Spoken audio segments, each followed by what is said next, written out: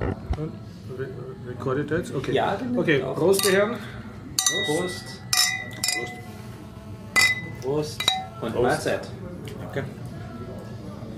Und willkommen beim Biertaucher Podcast 299. Heute am 4. März 2017. April. April. Dankeschön. Warum habe ich dann März aufgeschrieben? April, April. Das heißt, es ist der 4.4. eigentlich. ja. Ah. Okay.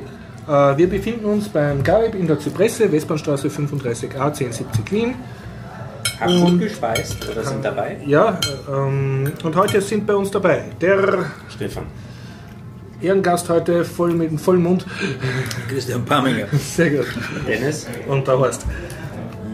Das Ganze findet statt mit freundlicher Unterstützung von Vulconic.com, der Internetagentur aus Österreich, vom Jörg. Vielen Dank an dieser Stelle. Außerdem sehr vielen Dank an unser Klebemonster, an unsere Patreonen und an unseren Flatterer oder umgekehrt, je nachdem, wer, wer mehr gibt. Und sowohl an unsere Feedbackler. Und damit komme ich zur Feedback-Vortragung. Ich kann das Feedback nicht verlesen, weil ich es nicht ausgedruckt habe. Ach, Aber ich habe es auswendig gelernt und kann es jetzt rezitieren. Wow. Ja, das Feedback äh, war vom Biertaucher Podcast 271 von Christoph aus der Steiermark. Und ähm, neben den eher technischen Daten hat er hauptsächlich geschrieben, ich gebe jetzt sinngemäß wieder mit nur sehr leichten Übertreibungen. Er bedankt sich für die lebensverändernde Hinweis auf den Leberkäse-Baby in Linz. Oh. Und anscheinend haben wir dadurch jetzt seine, seine Ernährungserfahrung äh, Erfahrung bereichert. Stichwort Pferd. 371? Ja. Das ist ja ewig her. Das ist ewig her, ja. Leberkäse? Da haben wir über Leberkäse Pepe geredet, den gibt es auch in Wien und den gibt es aber hauptsächlich in Wien, Linz. Ganz neu zweimal. In In Wien. Wien, in Wien gibt es ihn jetzt zweimal. Nämlich auch am Hauptbahnhof. Ah, hm, tja. Seit ein paar Wochen. Wenn Sie wissen wollen, wer der Leberkäse Pepe ist, einfach Folge 271 nachholen. Und ich dachte, ich äh, kann es jetzt von euch direkt live hören, aber na gut. Okay, ähm, tja, Kann man ja leicht anklicken, dann höre ich nur Der einen Leberkäse Pepe Super. ist eigentlich in Linz eine Institution am Bahnhof. Ne? ja, hat jetzt nach Wien expandiert. Alle möglichen Laut- Leberkäse-Sorten. mit Dort haben sie auch Pfefferlauch. an, die, die Verkäufer. Genau, die haben so, so, das ist sogar so. Und alle möglichen Gepäcksorten Mhm. dazu, also Mundflösser und bla bla bla. Aber ich glaube, der in Wien ist jetzt, also der betreibt das nicht selber in Wien, sondern Hat er so nur ein Lizenz ausgegeben. Mhm, mhm. Tja, Aber der Leberkäse ist der gleiche. Der Leberkäse ist der gleiche, zumindest das gleiche Rezept. ja. okay. Da stehen ja Schlangen der Oper bis, zum, bis zur Straße. So arg. Aber hat schon lang offen. Also Ist, eine- das so wie dänische Delikatessen? nein, das ist echt und das ist ein Geschäft. Neben der AIDA in der Operngasse. Ah, okay. Ah, das heißt, man kann vorher noch ein Stück Kuchen essen und dann anschließend ein leckeres Genau. Leberkäse. Eine Pferde. Besonders gut ist der Zwiebelleberkäse. Oh Gott, das, da bekommen wir jetzt schon wieder Hunger. Ähm, halt Meine Herren, ihr, ihr dürft gleich, ihr dürft gleich äh, in den Saft äh, gehen. Äh, lasst mich noch ein paar technische Details machen. Heute bei der Sendung 299 gibt es keine Videoaufzeichnung, weil der Dennis keine Kamera mitgebracht hat. Aber wir planen eine für die nächste, für die 300er Sendung. Und ich kann gleich ankündigen, die 300er Sendung wird sich abspielen hier in der ähm, Zypresse. in der Zypresse, Westbahnstraße 35a. Äh, bitte nächsten Dienstag einfach herkommen. Ja. Nur sind da gerade Osterferien, das heißt, wer weiß, ob da viele Leute da sind. Schulferien. Schulferien, Erwachsene dann vielleicht. sind. Okay, Eventuell 300 gibt's sogar- spezielle Themen geplant, oder? Jubiläum, ich bin doppelt so selbstbewusst wie sonst, aber sonst ist ein nichts. Rückblick. Ein Rückblick. Die letzten 300. Nein, also ich habe starke Hoffnung, dass der Gregor herkommt, äh, aber ich weiß es nicht. Naja, da du wieder Video aufzeichnen we- werden. Dann muss er sich halt hinter die Kamera setzen. Bitte, ich habe auch Feedback. Bitte. Ich habe mir die letzte Folge angehört Ja, und und? das Essen während dem Podcast ist echt furchtbar. Das, was der Christ, Okay. genau jetzt macht. Was der Ja. Christian genau jetzt Ah, macht. Und ja, zwar, ja. das Weil- Hauptproblem ist das, was der Christian auch gerade macht. Mit Besteck. Besteck am Porzellan. Am Porzellan. Ah. Ja. Das ist, scheinbar hat das Mikrofon genau die Eigenfrequenz dort drauf. Also das hörst du richtig im Ohr klirren. Ja. Okay. Und das zweite ist, letztens mal hat irgendwer auch ganz kolossal gematscht. Gematscht? Ja, Gematscht? Echt Ach, geschmatzt. Hatte, ach, Gefühl. Meine ist direkt im Mund. Ai, ai, ai. Und das ist nicht so geschmackig. Äh, also es schmatzen nur die, die essen oder auch die anderen? Oder? Also ich, nachdem es genau zum gleichen Zeitpunkt wie das Geklier war von den Messer Messern und Gabeln, würde ich daraus schließen, dass es die Messen. Also jetzt Schmatz und Besteck, weil der Christian fertig gegessen hat. Okay, also das, äh, ja. Dann müssen wir eigene Essenszeiten Versuch und nicht aus einer Flasche. Ich glaube, es wäre eine gute Idee fürs Essen zum Du bist, auch, du bist ab jetzt hy äh, akustischer Hygienebeauftragter Ja, ja, ja. und, und tust das äh, sauber trennen. Wir sollten vielleicht ein Mikrofon dran anschließen, dann können wir nämlich direkt live mithören. Also du wirst demnächst über Mikrofon, äh Quatsch, Entschuldigung, über Kopfhörer? Kopfhörer, Kopfhörer? angestöpselt. Kopfhörer habe ich da. Die hattest du ja schon im Ohr. Willst du sein Ohrenschmalz? Nein, nein, ja. Jetzt, was du sagst, Jetzt kommt jetzt mir gerade, dass, dass die Idee auch nicht so gut ist, war. ja? Deswegen benutze ich die nicht. Ich habe leider kein Kabel mit, aber naja. Okay, okay. Ähm, so, was wollte ich eigentlich die ganze Zeit sagen? Ich wollte äh, den Teaser äh, anbringen äh, und fragen, ob äh, ihr Themen habt, über die ihr gerne reden wollt. Unmengen. Unmengen. Oh, Dann ja, fang doch gleich an, Stefan. Ja. Worüber möchtest du heute Das reden? dänische Künstlerkollektiv N55. Weil das ist ja ein Kernthema vom Biertaucher Podcast. Ja, wirklich? Ja. Und ein paar neue Meetups. Meetups, okay. Aber ihr werdet sehen, das Künstlerkollektiv N55 ist genau unser Thema. Haha, okay. Und wir haben ja heute Bier. den Christian, der sehr selten da ist. Christian, äh, gibt es Neues von FH Concrete? Ja, wir, Entschuldigung, sind, FH Complete, oder? wir haben in St. Pölten gestern in Betrieb Mhm. Name gehabt. Ähm, Und darüber erzählst du heute. das kann ich erzählen. Super, ja. Also, mit einem Jahr Verzögerung ist das dann doch endlich Ja. geglückt. Dann haben wir das Community-Treffen im Juni. Was für ein Treffen? Community-Treffen. Community-Treffen, okay, Community-Treffen. ja. Da warst du ja schon mal dabei. Ja, laut, laut reden bitte. Und ja, das J davon habe ich mit. Ah ja, wir waren alle ganz neidisch. äh, Das liegt da herum. Äh, Ein Foto davon wird in die Shownotes eingepastet. Bin ganz begeistert. Ja, ich, ich auch. Ganz neidisch. Ich habe noch was vergessen, bin Bitteschön. wieder ganz begeistert von Elasticsearch. Okay, und darüber erzählst du uns heute. Erzähle ich auch ein bisschen. Das, da bin ich gespannt. Schon. Das Ja. Dennis, was hast du für schön. Oh, was zeichnest du da für einen schönen Plan auf? Das ist, das ist? interessant, nämlich darüber habe ich vor zu reden. Ja. Du guckst auf meinen Zettel und zack, siehst es. Und zwar habe ich mir ein kleines Display für meinen Raspberry Pi gekauft. Ah, sehr gut. Klein, aber fein. Bevor wir es vergessen, wir haben es nicht besprochen haben, sind eh alle im, im Flugmodus. Ich glaube schon. Ähm, ich höre hier irgendwas vibrieren. Also das klingt danach, als würde irgendeins nicht im Flugmodus sein. Der Tisch hat gerade vibriert. Also irgendjemand ist nicht im Flugmodus. Ich bin Flugmodus. Mein- Meins hat sich gerade ausgeschaut. Ah, okay, das erklärt es. Gut. Ja, und äh, ich kann erzählen über einen neuen Podcast, nämlich den Couchsurfer Podcast, der genau heute offiziell das Licht der Welt erblickt. Oh, Couchsurfer. Podcast, genau. Ja, Biertaucher, Couchsurfer, genau. was kommt als Coding nächstes? Teacher, drei Coding Teacher. Internet, also derzeit stehe ich bei vier Podcasts. Couchsurfer Podcast was zu tun mit dem Couchsurfing? Genau, ja. Ah, wirklich? ja. Wie? Du brauchst einfach nur am Tisch sitzen bleiben und kriegst das brühwarm von mir erzählt. Genau, und sonst habe ich keine großen Themen. Ich könnte ein bisschen weiter erzählen von dem Buch, was ich letztes Mal anbringt habe, aber ich nehme an, ihr habt so viele Themen, dass, dass ich das auch verschieben kann. das war aber eigentlich ganz nett. Das war ganz nett. Na gut, gut, gut, gut. Und sonst, äh, ja, na, sonst habe ich eigentlich keinerlei Themen. Hast du irgendein Kino besucht oder irgendeinen tollen äh, Tipp, was man mit Kindern machen kann äh, oder Familienbelustigungen in Wien oder so? Irgendwas Soziales oder kulinarische Tipps werden immer gern gehört. Leider nein. Also, okay, Wir dann schon was mit Kindern, aber nicht in Wien. nicht in Wien. Okay. Wir fahren meistens so Semmering. Ah, okay, okay. Am Wochenende war am Rathaus die Fahrradausstellung. Genau, ja. Ja, ich war dort. Also, Ah, kannst du davon erzählen? Ja, ich kann Jawohl, davon erzählen. yeah, okay. Dann haben wir ja jede Menge Themen. Wem liegt es denn am meisten am Herzen? Machen wir vielleicht dich als Gast zuerst. FH Complete. Was ist bisher passiert? Stand ja, für. FA Complete die Version 3.2 ist. äh, Zuerst für die Hörer, die dich letztes Mal nicht gehört haben, müssen wir ganz kurz erklären, was FA Complete überhaupt ist und was, wo du arbeitest. Ja. Genau, es, es, wir haben ja so viele Hörer, die seither erst dabei sind. Also FA Complete ist ein freies Campus-Management-System, in PHP geschrieben und PostgreSQL als Datenbank. Also zur Verwaltung von einer kleinen Uni oder Fachhochschule. Genau, es geht um Ja. ein Hochschuladministrationssystem, also vorwiegend für Fachhochschulen. Mhm. Es sind aber zwei Unis auch schon mit dabei.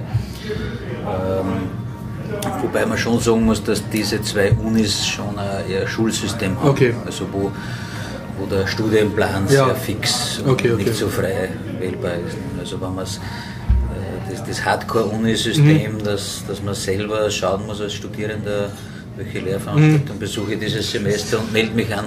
Aber das ist ja auch nicht der Sinn einer Fachhochschule. Genau, darum heißt es ja FH komplett für Mhm. Fachhochschule. Die meisten Universitäten gehen dahin. Ja, das gibt es Wir ja fast immer. verschult.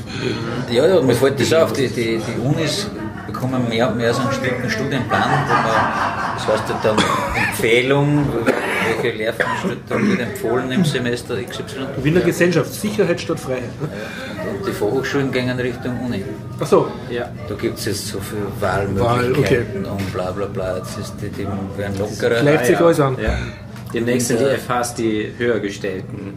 Und das kommt jetzt in 2018 in der europaweite Geschichte, ich weiß es nicht mehr ganz genau, dass in Hochschulen die Anwesenheitspflicht fällt. Auch in der FH Auch in der. Und das heißt, dann musst du ja nicht einmal mehr hingehen. Genau, da gibt es einen Stundenplan, wie in der Schule, aber das nicht mehr. Also keine Ahnung. Moment, ganz fällt? Das heißt, die darf es in dem Fach nicht mehr geben? Oder? Du hast ja auch auf der Uni äh, Ja, also Anwesenheitspflicht. Ja, zumindest zum bei. Vorlesungen. und So. Äh, Also Übungen werden sicher, ja, ja, oder natürlich. Prüfungen, musst du schon anwesend sein. Ich kenne kaum Vorlesungen, die äh, mit Anwesenheitspflicht, da hatte ich. Und auf den Fachhochschulen schon. Ne? Ja, äh, also ich meine jetzt an Universitäten. Ja, das, das ist ja die. Definition einer Vorlesung, dass nicht Eben. musst. Nur verbindliche Übungen. Interessant. Okay, und, also das ähm, ist immer ein System. Und da, da arbeitet ihr ja schon länger dran an dem FH Das. Ne? gibt es seit 2004, also das Mhm. war so der, der Grundstein damals. Und das ist von euch vom FH Technikum ausgegangen. Mein gegründet worden. Technikum Wien hat das damals, also wir waren eigentlich auf der Suche nach einem System, dass wir halt von, Ja. von der Access-Datenbank einmal wegkommen sozusagen. Und das haben aber die anderen auch nichts Gescheites gehabt wie Mhm. Access. Es hat damals gegeben, es gibt es heute auch noch, das heißt Campus Online, das ist Okay. von der TU Graz. Das haben halt viele Universitäten in Österreich. Ja, Das ist äh, in die Jahre gekommen, eine Java-Applikation, okay. wo die, die User Group eigentlich auch schon seit Jahren wartet auf ein neues Grundrelease, Und das ist auch ein Open Browser Source, auch äh. Open Source wäre oder nicht? Nein, nein, das ist Also, Campus das ist das Source, total okay. auf Oracle-Basis. Okay. Also, schon die Oracle-Lizenzen sind enorm, was die da zahlt. Mhm. Und also für uns war das auch finanziell überhaupt nicht drinnen. Ja. Mhm. Es wäre sowieso zu dick gewesen, also das ist ja doch sehr mächtig mit hunderten Features. Ähm, Genau, ihr wollt so eigentlich nur eure Hörsäle und eure Studenten verwalten und eure. Genau, und Raumplanung, Ja, ja. Ressourcenplanung. So. Ähm, genau. Da ist also habt beschlossen, ihr programmiert es euch selber. Hm, Wir haben das damals eigentlich gemeinsam mit der Fachschule BFI beschlossen, dass wir einen neuen Eigenbau starten und auf, auf freier Softwarebasis. Mhm. Ja. Das war so die Grundidee. Es hat aber das, die Fachhochschule BFI dann die Ressourcen einfach nicht gehabt. Mhm. Jetzt haben wir es einfach allein gestartet. Äh, Warst du da von Anfang an maßgeblich involviert oder bist du erst später Ich war dazu eigentlich der? Einzige, ne? Du warst der Einzige. Du, warst, du bist die FH ich war die, ich war die Community. Okay. Deshalb war- dieser Fokus auf freier Software. Genau. Also das, was ich vorher gehabt habe, schon war ein Warenwirtschaftssystem. Da habe ich schon eine Access-Lösung Mhm. Ja. abgelöst im Haus. Und der nächste Schritt war dann diese Stundenplanung. Ja. Wir haben ein Tool gehabt, das heißt von Gruber und Stock raus an die. Vertreiben das wirklich europaweit für, für Hauptschulen oder Gymnasien. Mhm. So ist wirklich, Stundenplanerstellungstool. genau. Und Also was praktisch die Lehrer und die Klassen und die Räume matcht. Mhm, Das ist aber darauf ausgelegt, dass sich dieser Stundenplan jede Woche wiederholt. Ja. Das ist kein Okay. Kalender. Ne? Ja, Also ja. das sind dann immer komplizierte Ausnahmen. Und das war das für uns auch dann mehr, mehr sinnlos.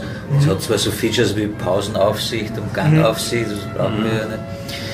Und dann war 2005 schon das das erste große Ding. Mhm. Das, dieser Teil heißt Tempus, wo es um diese Raumplanung geht, also wo man konkret sagt, welche Lehrveranstaltungen. Das ist jetzt von eurem Tool, das Genau, Tempus. das ja? ist der Teil. Den habt den schon, ich den schon zu- relativ bald gehabt. Das war eigentlich der erste Ja. Teil, Mhm. was mit, mit, mit Campusmanagement zu Okay, tun ja. Und rund um diesen Teil ist das dann immer größer geworden. So Studierendenverwaltung, Mhm. Okay, ja. Mhm, vom, vom, vom Interessenten schon weg.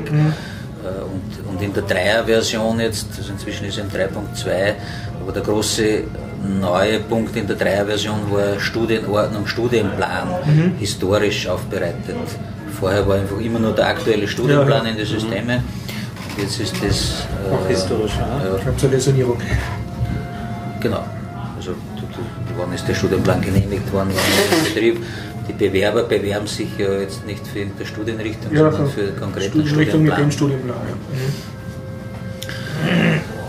Und genau, jetzt war 3.2, das war vor einem Monat circa.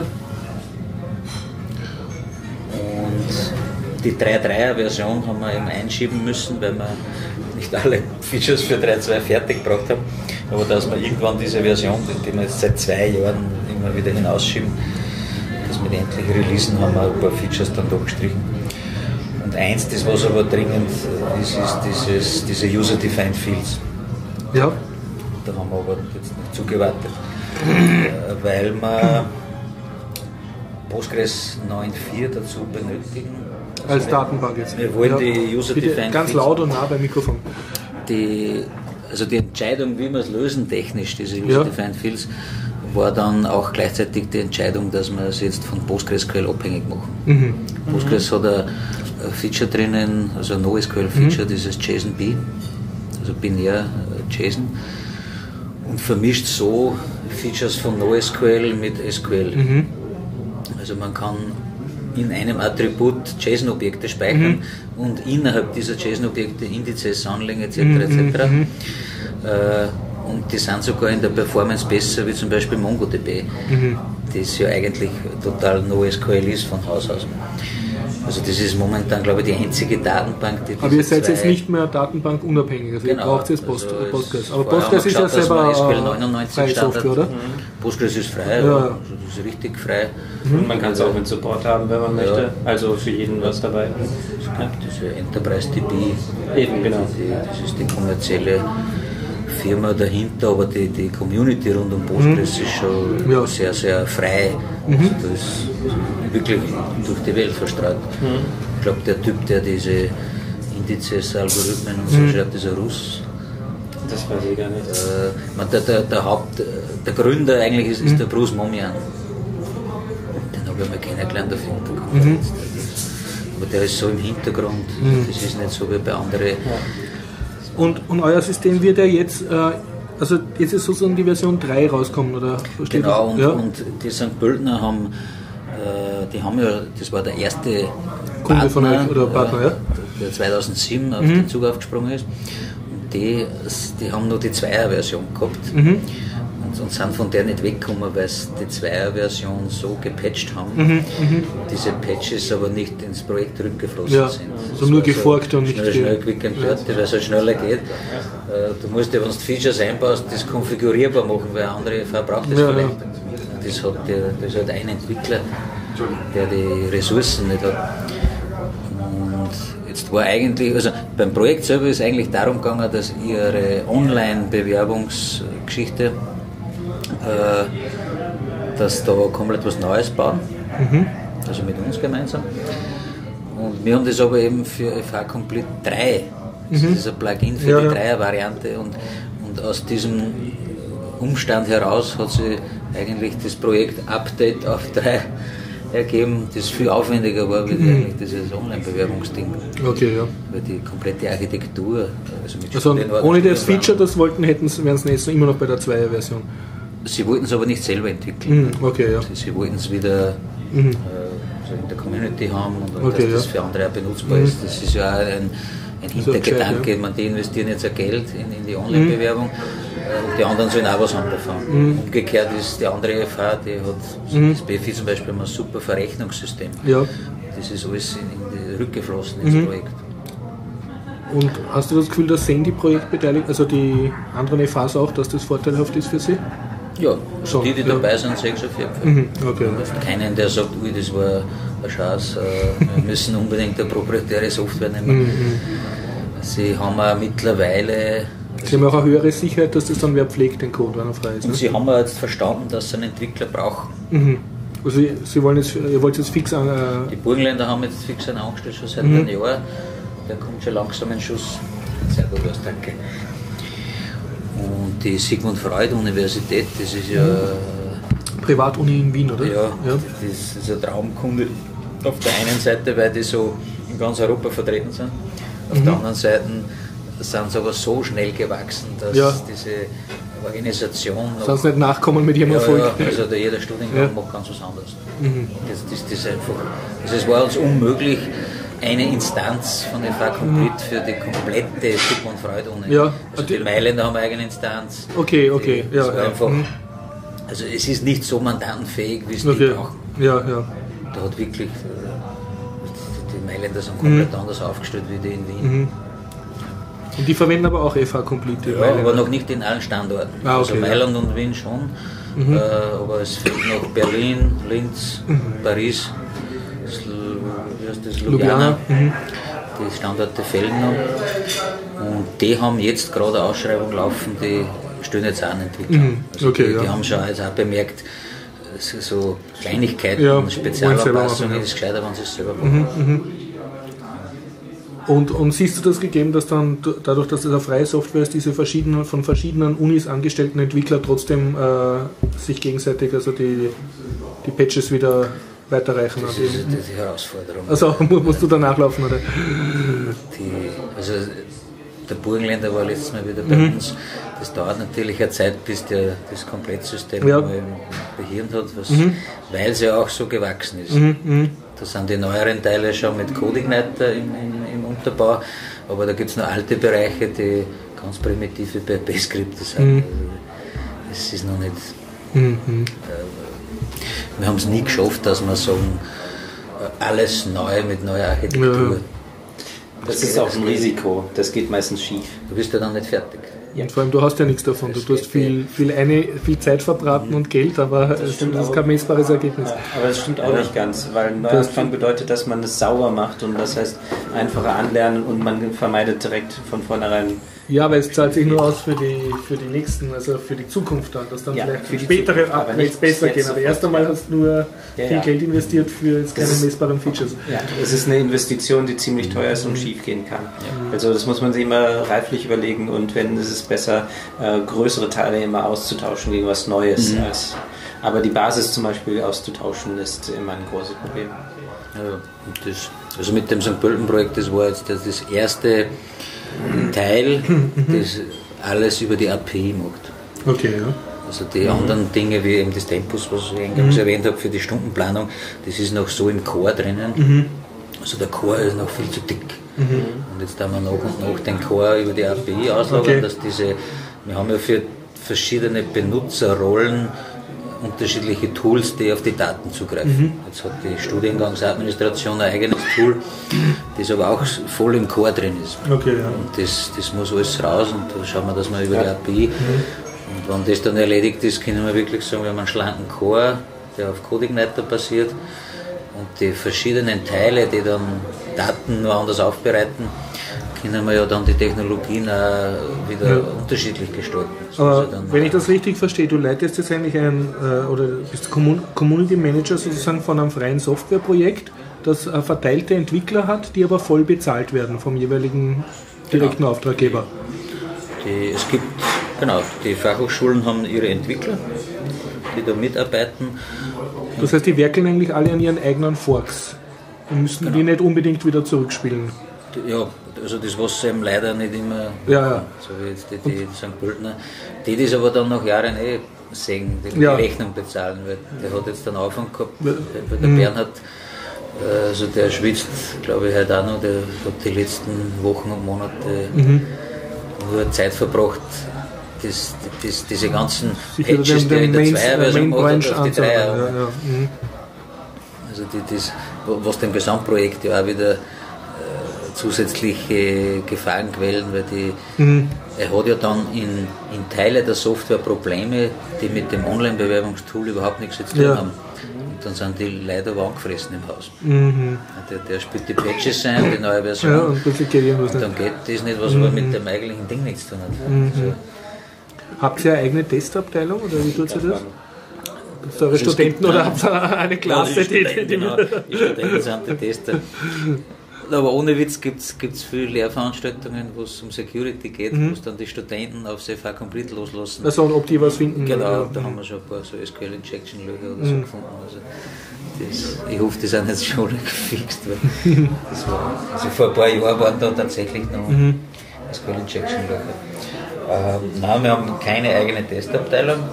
Wir haben lang versucht, selber die Tests zu schreiben. Mhm. Also wir machen es nach wie vor selber, wissen aber, dass das nicht sinnvoll ist. Mhm. Also die, der Entwickler, der sich für testen, den eigenen ja. Teil einen Test schreibt, ja, vernachlässigt das einfach. Also wir haben automatisierte Tests, mhm. die aber sicher unzureichend sind. Mhm. Das traue ich mir gar nicht hinschreiben, dass man. Mich interessiert das Community Management.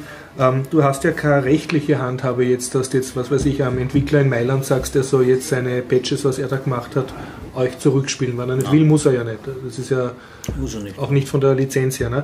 Wie, wie machst du das dann konkret? Organisierst du dann irgendwie Treffen oder versuchst du eine persönliche Beziehung genau. herzustellen oder ja, fährst ja. runter oder macht ihr ja, so gemeinsame, gibt es eine FH mhm. äh, Complete, äh, FH Complete Con, also machst du so eine Konferenz, wo alle mhm. kommen dürfen? Genau. Also wir haben viel, wir haben eine Google Plus Gruppe. Ja. Da sind die drinnen. Äh, das meiste passiert aber eigentlich telefonisch. Mhm. Also irgendwer ruft an. Also du kennst eigentlich alle persönlich? Ich kenne alle persönlich. Ja. Äh, und der, der da viel mehr drinnen ist, tatsächlich in der Entwicklung, ist inzwischen der Andreas Österreicher. Der ist momentan der, der im Chor am meisten Bescheid weiß. Mhm.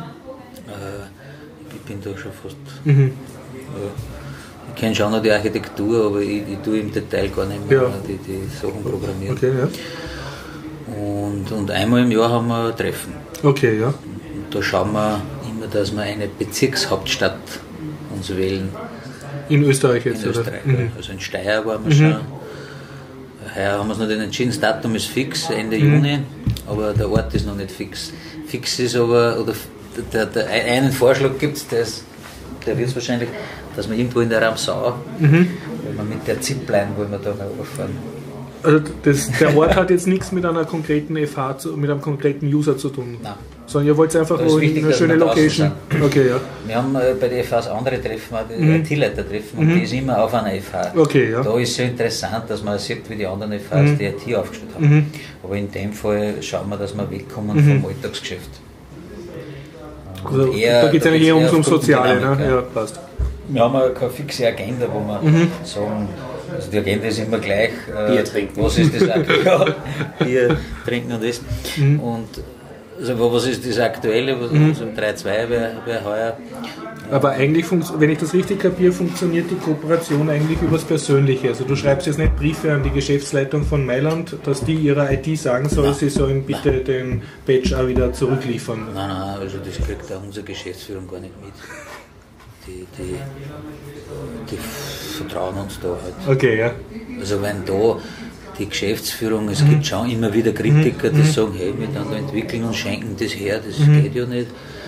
Aber das sind meistens neue, die, die mhm. neu dazukommen und das immer hinterfragen und, und auch von, von freier Software überhaupt keine Ahnung haben. Gibt's das, wir haben jetzt 2017, ist das auch auf einer technischen Hochschule immer noch ein Phänomen, dass es so Leute gibt?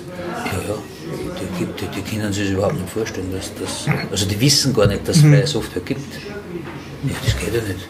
Mhm. Das, das, muss man ja zahlen. Ne? Das kostet eh was, es ist eh nicht so, dass das gratis ist. Du musst das ja trotzdem betreiben. Und, mhm. Aber wenn man es einer dann vorrechnet, wir haben ja gute Vergleiche mit mhm. zum Beispiel Campus Online, dieses Theokratsystem proprietär. Äh, die, die das betreiben, mhm. müssen ja trotzdem diesen Second- und Third-Level machen. Mhm. Und dann brauchen sie wieder die gleiche Anzahl Personen. Alle, ja. Bei uns macht der Entwickler gleichzeitig Third-Level-Support. Mhm. Und der kann es am besten. Ja. Also, einen besseren Third-Level-Support gibt es gar nicht wie der Entwickler selber. Und, und das glaube ich, also wenn man es einer dann mhm. zeigt und vorrechnet, dann begreifen sie es schon.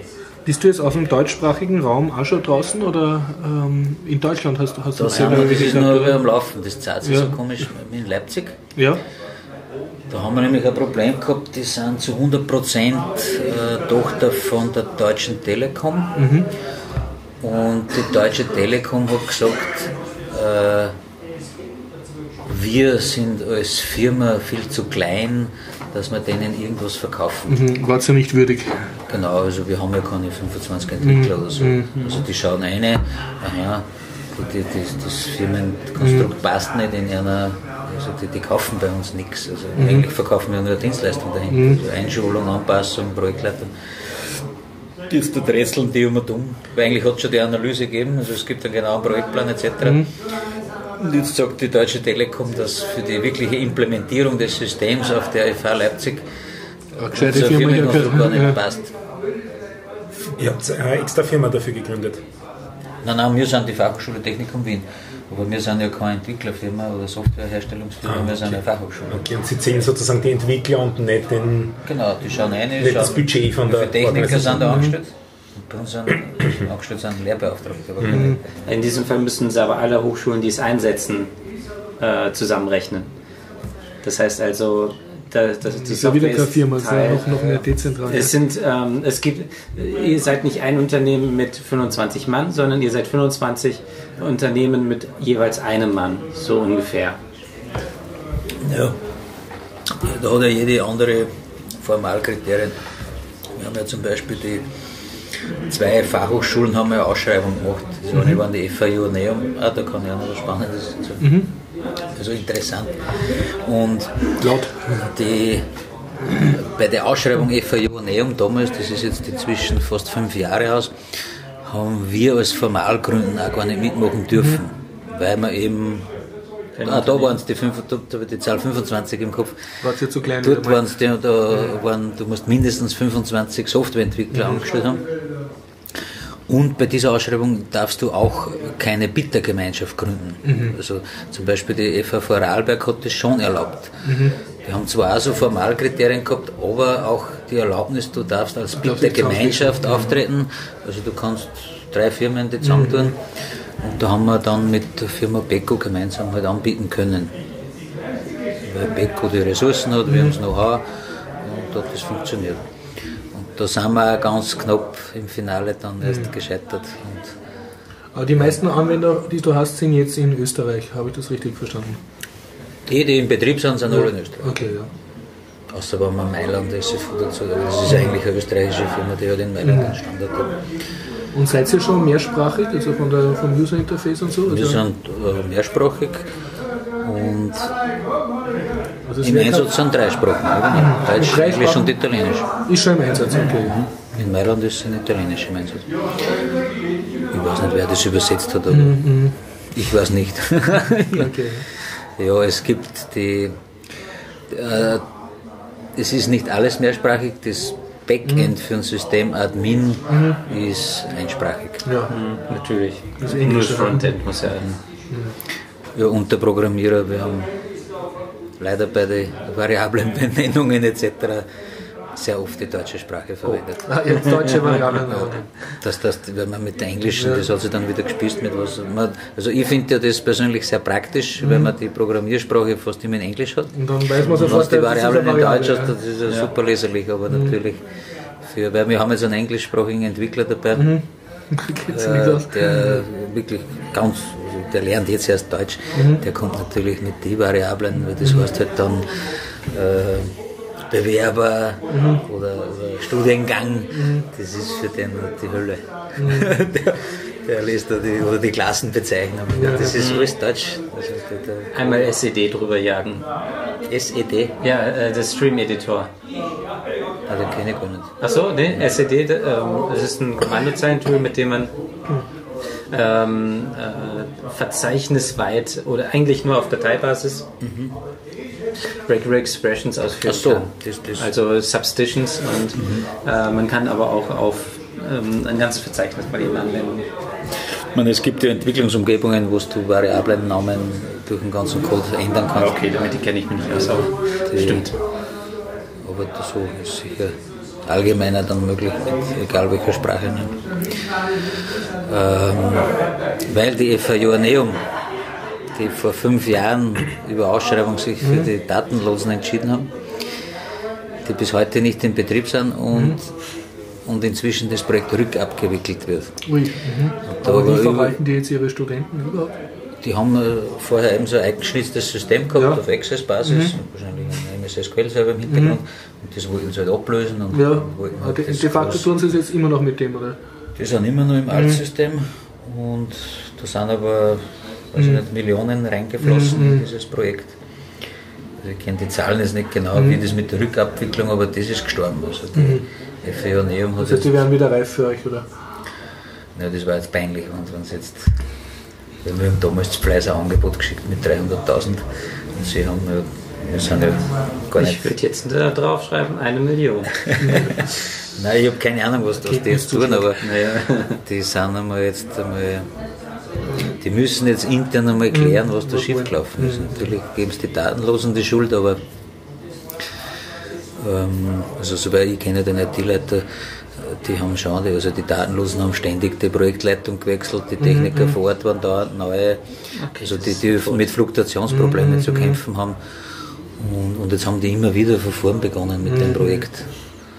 Und die Vorarlberger haben nämlich in ihrer Ausschreibung genau diese Erkenntnisse und Erfahrungen gleich in der ersten Stufe drin gehabt, wo man konkret Personen nennen muss, die was ich, technische Projektleitung, Prozessleitung haben. Und man zahlt dort Strafe, wenn, sie, wenn man den wechseln will. Also das ist also ganz wichtig in dieser Ausschreibung, es fällt gleich auf als ersten Punkt, dass da wichtige Schlüsselfunktionen im Projekt, die müssen bekannt sein, da müssen die Referenzen genannt werden. Das war ganz wichtig in, der ersten Phase dieser Ausschreibung. Da sind von elf Anbietern nur vier in die zweite Phase gekommen. Aber die starten jetzt erst mit der Implementierung und da sind wir schon gespannt, wie es denen geht. Weil ich kenne das Ganze eher aus der Baubranche, äh, nicht weil ich aus der Baubranche komme, aber wir bauen auch, äh, dann auch Gebäude bauen für die Lehre. Und in der Baubranche ist es üblich, leider Gottes, dass man bei so Ausschreibungen Dass du billig reinfährst und dann. einmal Punkte sammelt und man liefert alles. Du musst ja alles liefern, dann kriegst du die höchsten Punkte. Der Preis, da kannst du nicht rauffahren. Und dann ist ja in der Ausschreibung ganz genau definiert, wofür man wie viel Strafe zahlen muss. Achso, das wird schon Das wird vorher kalkuliert und dann wird das geliefert, was leicht zu liefern ist und für den Rest zahlt man Strafe und dann macht man immer noch Gewinne. Und, und so läuft es und die Datenlotsen haben das genauso gemacht und die in Vorarlberg befürchte ich, werden das gleiche Schicksal erleiden, weil die, die was gewonnen haben, haben in diesem äh, Feature-Katalog 100% angekreuzt. Mhm. Du meinst, das ist an sich schon unrealistisch. Das gibt's nicht. Da ist zum Beispiel dabei die österreichische BIS-Meldung. Das ist die Datenmeldung ans Ministerium. Die haben noch nie in Österreich das System eingesetzt. Also wie sollen die die haben? Wir müssen es entwickeln und wenn sie es nicht tun, Strafe Ja, zahlen. das wäre so Das fertig, weil das ist extrem Interessanter aufwendig. Vergleich zwischen Bauwirtschaft und Ja, ja, Softwareindustrie. so läuft es. Das, das ist das, ist das Problem, Systemproblem der Ausschreibung. Der Auftraggeber will sich irgendwie in Sicherheit wiegen. Ja. Da ist eine Rechtsanwaltskanzlei dabei äh, und dann wird das natürlich, ja, kannst dann Nuller oder zwei Nuller hinten dranhängen, was das dann kostet, weil du nur den Overhead bezahlst. Und du bist zwar dann abgesichert irgendwie mit Penale etc., aber was hast du zum Schluss? Fünf Jahre vergeudet, Geld ist trotzdem weg, ein bisschen was kriegst du zurück. Wenn es irgendwie gut geht, okay, dann kann man sagen. Aber ich, ich sage da den allgemein, jetzt komme ich zum Schluss wieder zurück auf den freien Softwaregedanken, halt schade und Schwachstelle bei vielen IT-Leitern, die einfach nicht die Verantwortung übernehmen wollen Ja, und dann über so eine. Ausschreibung Also, mhm. und da kaufen sie lieber das teuerste, bevor sie selber irgendwas riskieren, weil dann können sie sagen, ja, wir haben eh den Industriestandard, na, dann nehmen wir halt Oracle und dann nehmen wir Microsoft. Das ist. zu fail. durch die Bank sind die alle so gestrickt. Jeder schaut nur, dass sein Arbeitsplatz gesichert ist. Formal kann man ihm nicht an, er hat eh das alles formal korrekt und über den Rechtsanwalt begleitet. Also der, der würde ja nie, in Vorarlberg war genau die Entscheidung. Der, der, der IT-Leiter hat sich nicht entscheiden getraut und der Geschäftsführer auch nicht. Und dann haben sie eine Ausschreibung gemacht. Und ja, nehmen es gleich. Aber das sind alles Steuergelder und darum. Also ich finde es doppelt schade. Erstens, weil die freie Software dann nicht zum Zug kommt. Und zweitens, weil es einen Aufgeld kostet. Das ist ja der Steuerzahler. Und, und weil ja auch dann die Institution als solche, die Schule nichts über freie Software lernt. Weil ich nehme an, bei euch jetzt ist zumindest in der Verwaltung jetzt ein Wissen da, da ihr managt ja ein freies Softwareprojekt jetzt. Ne? Und ich denke, das wird ja irgendwann dann auch Bezug haben zur Lehre. Zumindest hat es ja, ja wenn, wenn Sie jetzt schon sagt, dass eure Studenten äh, das testen, ne? ja. dann kommen die ja zwangsläufig mit einem freien Softwareprojekt in Berührung. Ihr bildet sozusagen als Institution ein bisschen uh, Skills aus in die Richtung. Ja, ja. Also vor allem in der Informatik, die haben dann in die, die Übungen, wenn sie zum Beispiel mhm. Web-Applikationen bauen, dann verwenden sie PHP, Apache und so mhm. weiter. Also die würden jetzt nie in der Übung an, an mit .NET, äh, mhm, mhm. die lernen schon .NET, aber, aber nicht in diesem Web-Applikationsbereich. Also da sind wir schon durch FH Complete ein bisschen ein Vorbildgedanke. Und was uns schon sehr hilft, ist eben, dass da mehrere Hochschulen dabei sind, mhm. weil das ja intern jetzt auch diese positive Stimmung, aha, äh, das das funktioniert, weil andere FHs setzen das auch ein. Mhm. Sonst wüssten wahrscheinlich unsere Administratoren, also nicht IT-Administratoren, sondern Studiengangsadministratoren, gar nicht, dass man das FH komplett freie Software ist. Mhm. Weil da können wir nur 100 Mal frei draufschreiben, wenn nur wir das nutzen. Das, das, das dann, ja. Mhm. Das Na cool. Du hast gesagt, du suchst, du hast derzeit eine Stellen gesucht. Hast, äh ja, wir suchen dringend. Also wir als äh, FH Technikum Wien. FH Technikum Wien suchen dringendst äh, Linux-Server-Administratoren. Also gleich mehrere sogar. Wir, konkret sind es zwei, wir brauchen mhm. einen Junior und einen Senior. Mhm. Wir haben zwar für den Junior ein paar Bewerber, ähm, eigentlich ist nur einer, der, der irgendwie das, das, das Formale erfüllt. Aber im, im Seniorbereich, also mhm. irgendwer mit Erfahrung, haben wir überhaupt noch keinen Bewerber. Also der Markt dürfte momentan sehr dünn sein. Oder unsere Ausschreibung ist nicht angekommen. Mhm. Vielleicht hat es einfach niemand gelesen. Das Gehalt ist so mies, dass keiner kommen. Ah, wenn man sich dafür interessiert, findet man das auf der Homepage von FH Technikum? Oder? Ich hoffe, das weiß ich gar nicht. äh, nein, die, also die Ausschreibung geht immer über so ein also auf der Homepage wird ja. sicher drauf sein, das ist also eine Briefkastenfirma, die das in, in mehrere. Äh, ja. Die heißen so. Also das ist nicht so eine Briefkastenfirma, ja. wie man es im Geldwäsche-Dings. Die, die heißen. Das hat irgendwas mit Briefkasten zu tun. Äh, das weiß ich nicht mehr genau. Okay. Aber die kümmern sich dann darum, dass in diverse Zeitschriften und so das, das ausgeschrieben wird. Genau, da suchen wir wen. Bitte melden. Also wichtig war Linux-Erfahrung im Serverbereich und, und Freude mit freier Software. Das, Na schau, ist doch Das wäre wichtig. Also schon, schon der Gedanke mitgetragen werden. Cool. Okay, na super. Und den Kernel Source Code sollte man halt auswendig können. Unbedingt. Dann bin ich ausgeschieden. Das heißt, du hältst uns auch weiter am Laufenden, wenn es Neues Es darf gibt. auch FreeBSD auch sein. den Kernel Code auswendig. okay. Und es, es kann auch der Hurt sein. Wenn es unbedingt ja, der okay. Hurt sein muss, dann. Passt. Stefan, bevor du einschlafst, du hast ganz viel zum Erzählen gehabt, hast du gesagt. Dann hänge ich mich an den PostgreSQL auf, mhm. nachdem ich das ja auch verwende für mein Panoptikum und ich letztens ein bisschen Zores mit der Volltextsuche gehabt habe. Also am Anfang habe ich einfach nur Select Queries geschrieben mit iLike und so weiter. Das war nicht so ganz das Wahre, weil man erwartet bei, heutzutage bei einer Suchmaschine, wenn man mehrere Begriffe eingibt, dass dann zunächst einmal gesucht wird nach einer Unverknüpfung all der Begriffe und wenn das nicht zum Ziel führt, dann halt einzelne Begriffe weglassen, also so ein gemischtes und oder. Wie heißt das, worüber du jetzt erzählst? Volltextsuche. Volltextsuche, okay. Volltextsuche. Oder Suchmaschine, im Prinzip das gleiche. Auf jeden Fall ähm, Also am Anfang habe ich das so ein bisschen selber gestrickt und bin relativ schnell am Ende meines Know-hows gelandet und habe mir dann, dann na, liest man ein bisschen in der Doku nach, PostgreSQL kann Volltextsuche. Juhu! Also habe ich gelernt. Ja. Bitte? Ja, bin ich neugierig. Habe ich gelernt, was der Volltextsuchindex kann und so weiter. Also man kann Indizes dazu anlegen.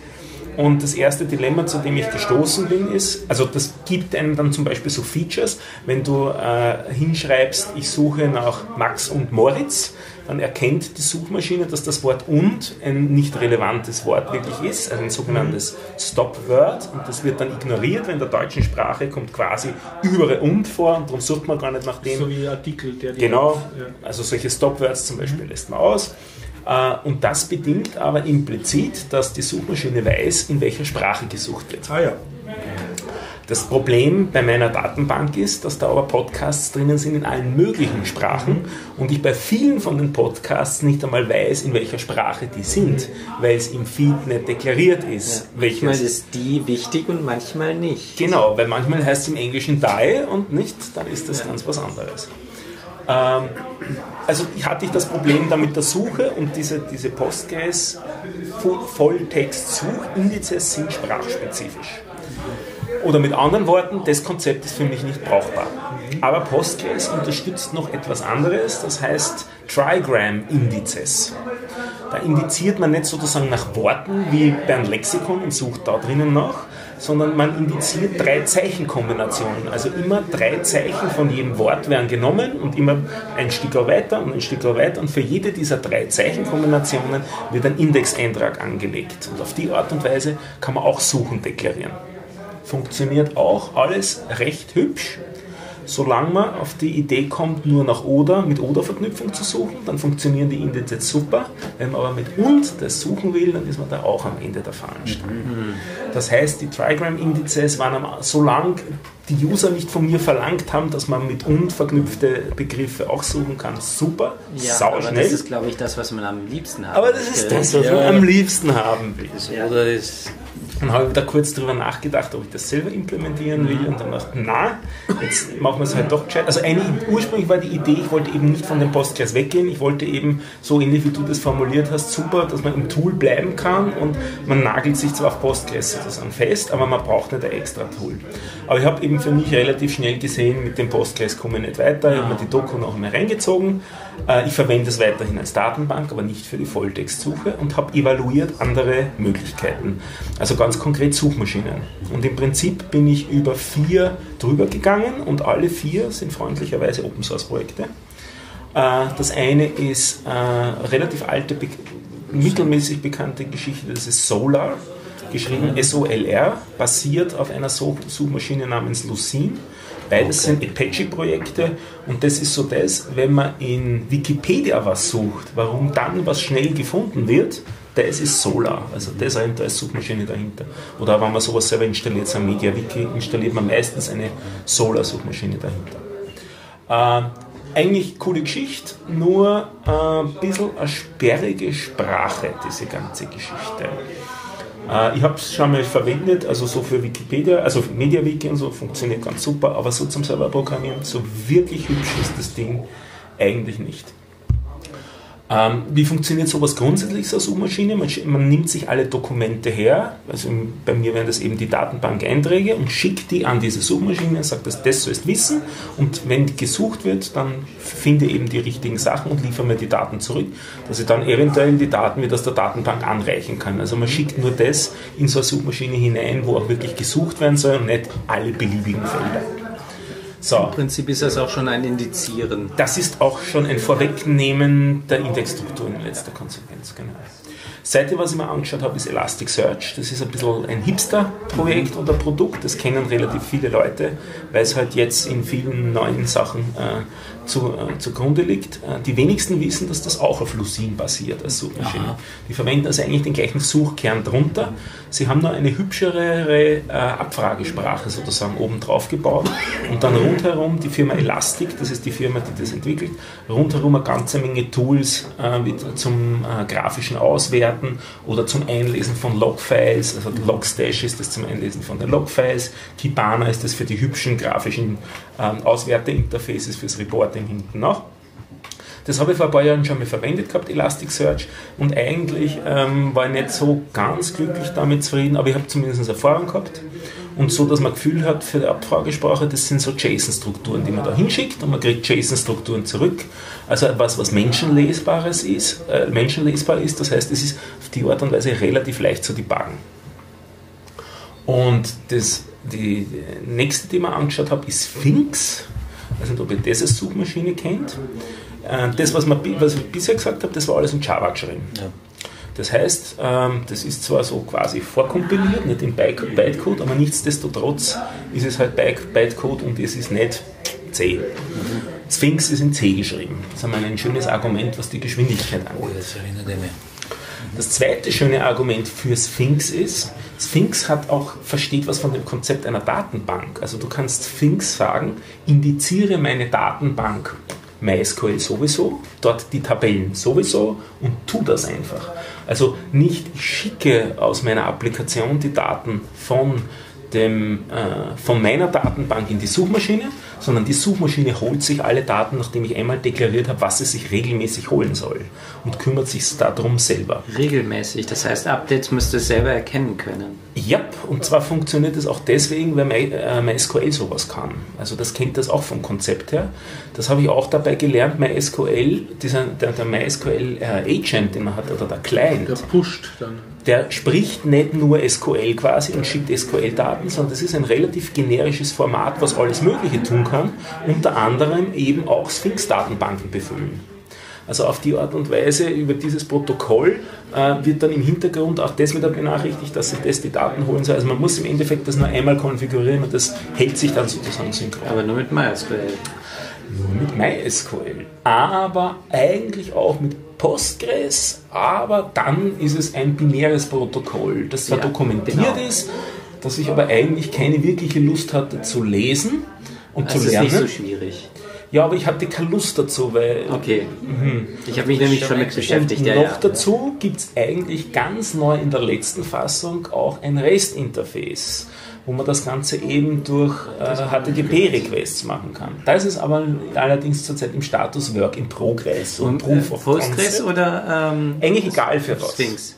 Für, für Sphinx an und für sich. Also ein REST-Interface für Sphinx. REST-Interface okay. für Sphinx und das könnte, könnte, sich dann über das wieder ja. die Daten von Postgres und so holen. Ähm, Postgres hat ja auch äh, die X-Logs, das wäre am gescheitesten überhaupt, dann bräuchte er nur die zu importieren, die ich neu sind. Wüsste, das ginge auch, aber ja, es gibt, im Prinzip könnte ich sie auch aus der Datenbank befüllen, das wäre gar nicht so tragisch. Das, was mir am meisten getriggert hat dran, eigentlich war die Geschichte C und sauschnell heißt die ganze mhm. Sache.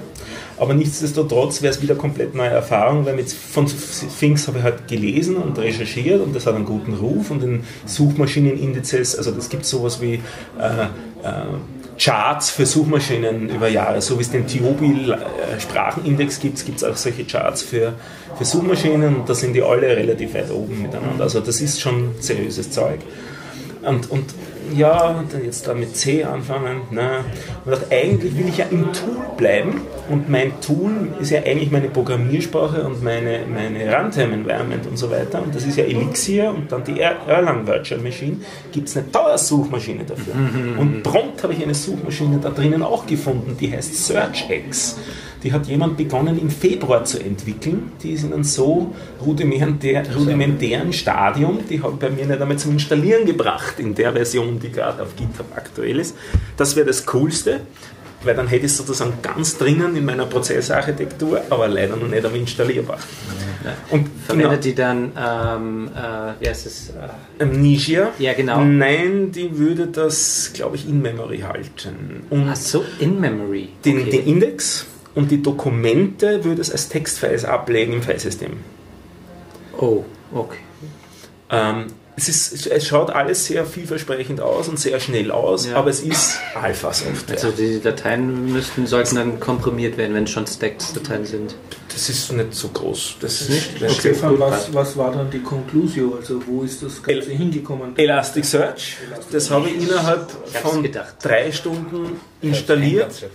Ja, ja, also wir wussten schon, aber ich hatte trotzdem die Hoffnung, also ich habe jetzt auch kurz geglaubt, er ist ja. jetzt fix. Ja, ja, nein, ja, ich habe es doch gelassen. Ich, ich habe, glaube ich, recherchiert, habe ich, glaube ich, 15 Stunden und dann habe ich drei Stunden verwendet, Elasticsearch zu installieren, zu konfigurieren und es rennt. Mhm.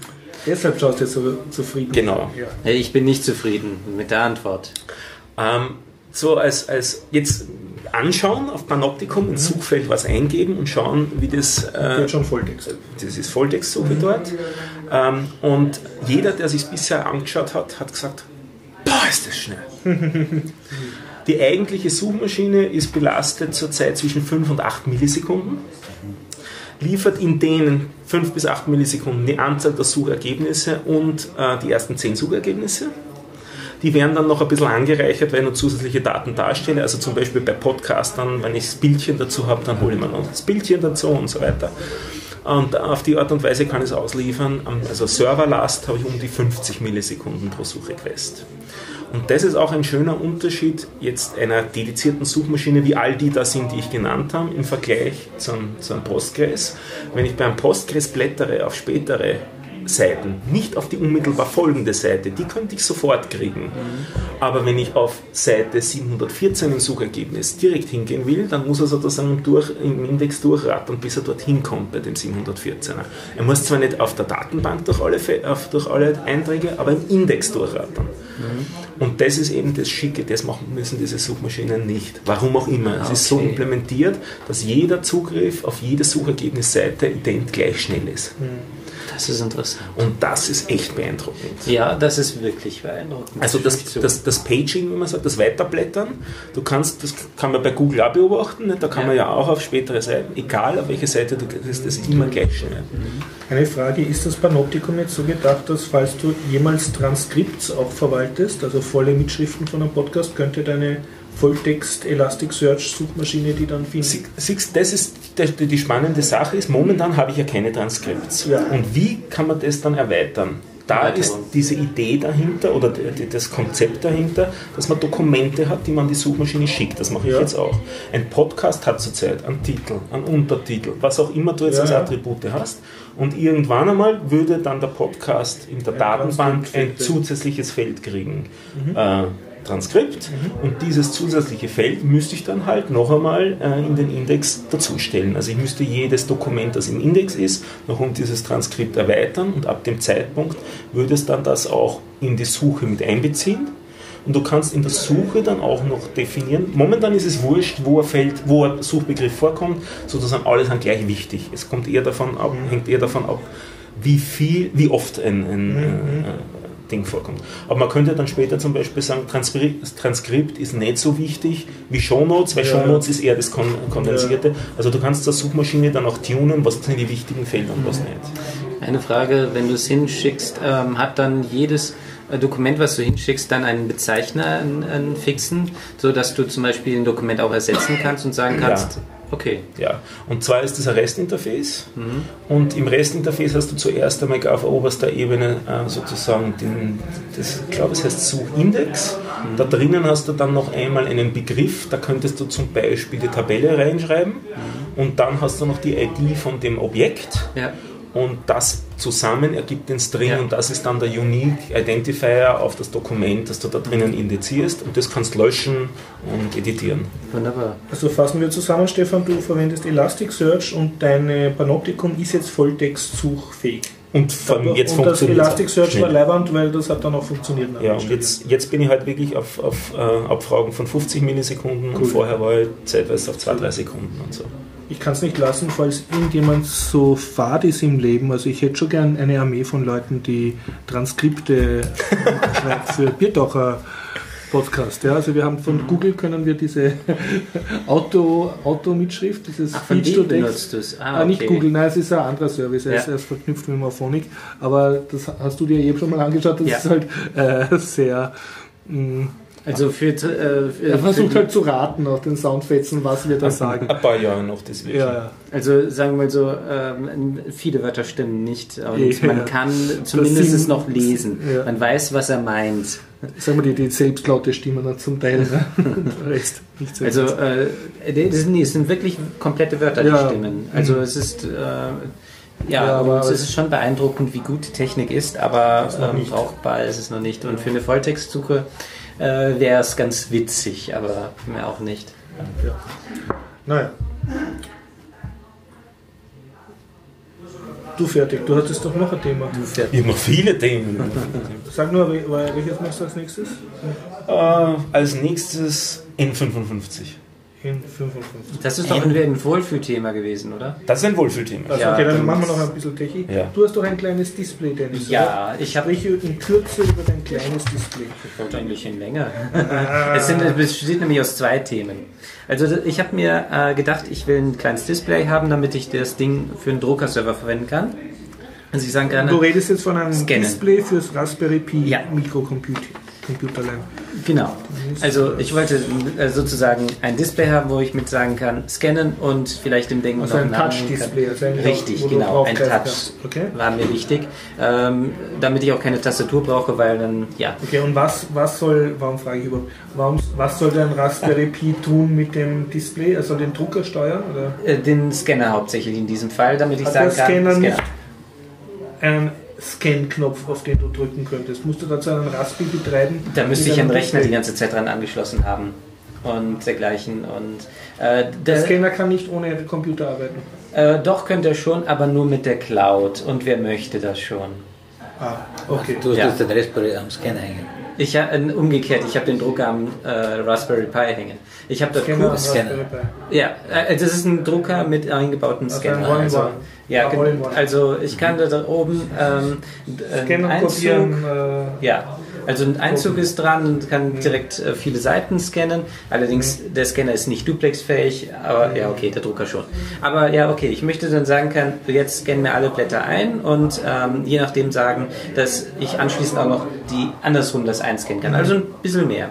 Ähm, der Raspberry Pi kann auch per Netzwerk angesprochen werden, jetzt schon zum Scannen und Drucken, aber ich möchte nicht in meinen Rechner gehen, weil vielleicht habe ich gerade keinen an, also möchte ich einen Knopf drücken können. Äh, dafür habe ich mir gedacht, okay, nehme ich ein Display. Und, und nur damit ich es wirklich kapiere, dein All-in-One-Drucker hat diese Funktionalität, sendet die Daten dann aber in eine Cloud, die du nicht magst. Richtig.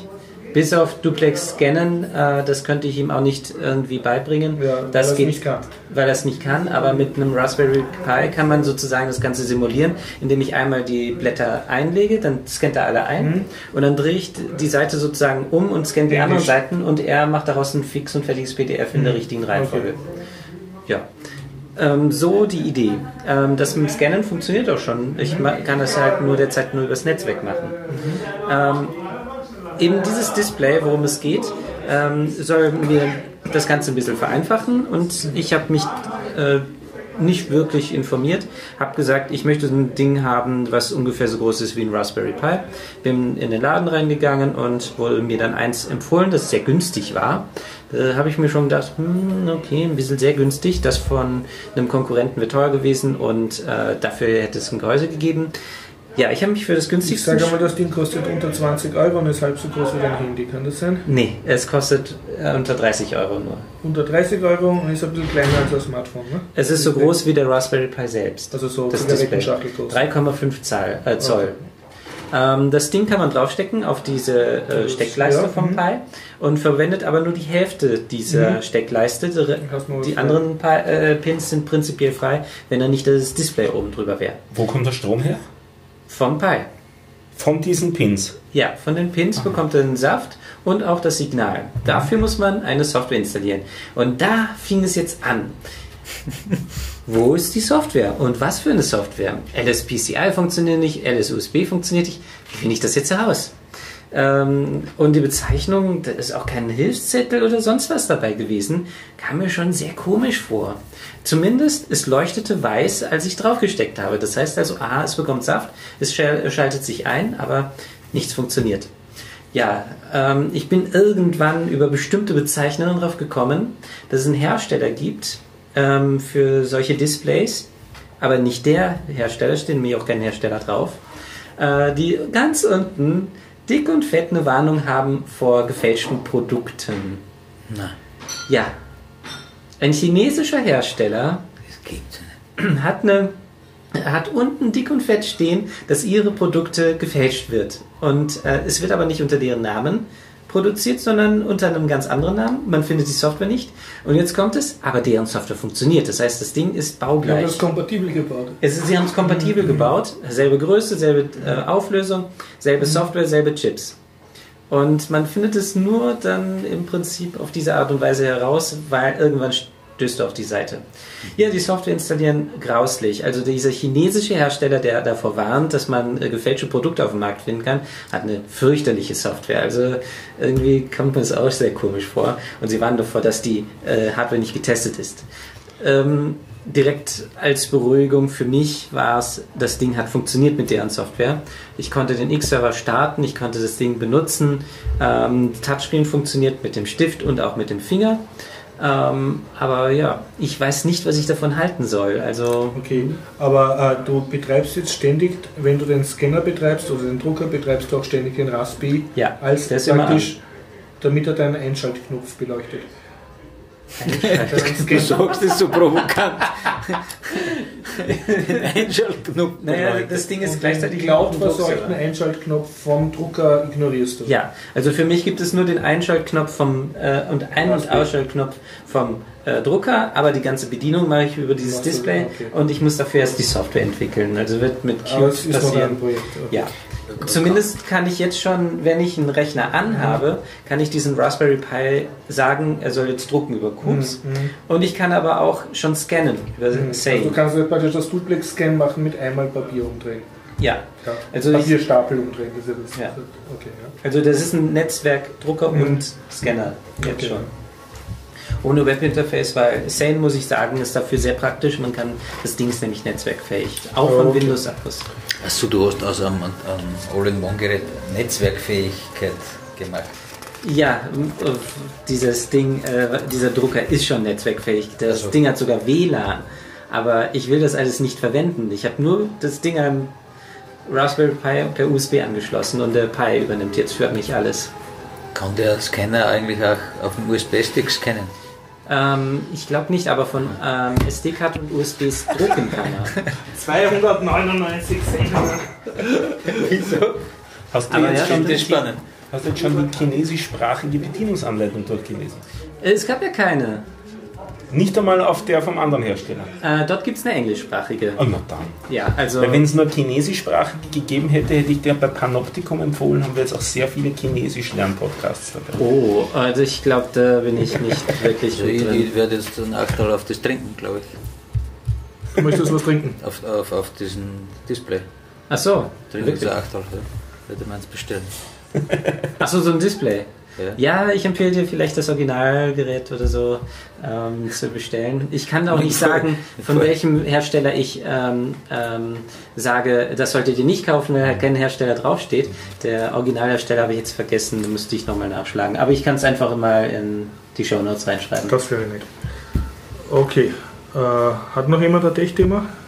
Sonst würde ich zum nicht-technischen Teil übergehen. Du schaust schon so fertig. Machen wir den nicht echt. Machen wir nicht technischen. Bitte, äh, Stefan, du hast einen nicht-technischen schöner Lebenteil. Du hast einmal erzählt uns über Traktoren. Ich habe euch über Traktoren Ja. erzählt. Das ist technisch, oder?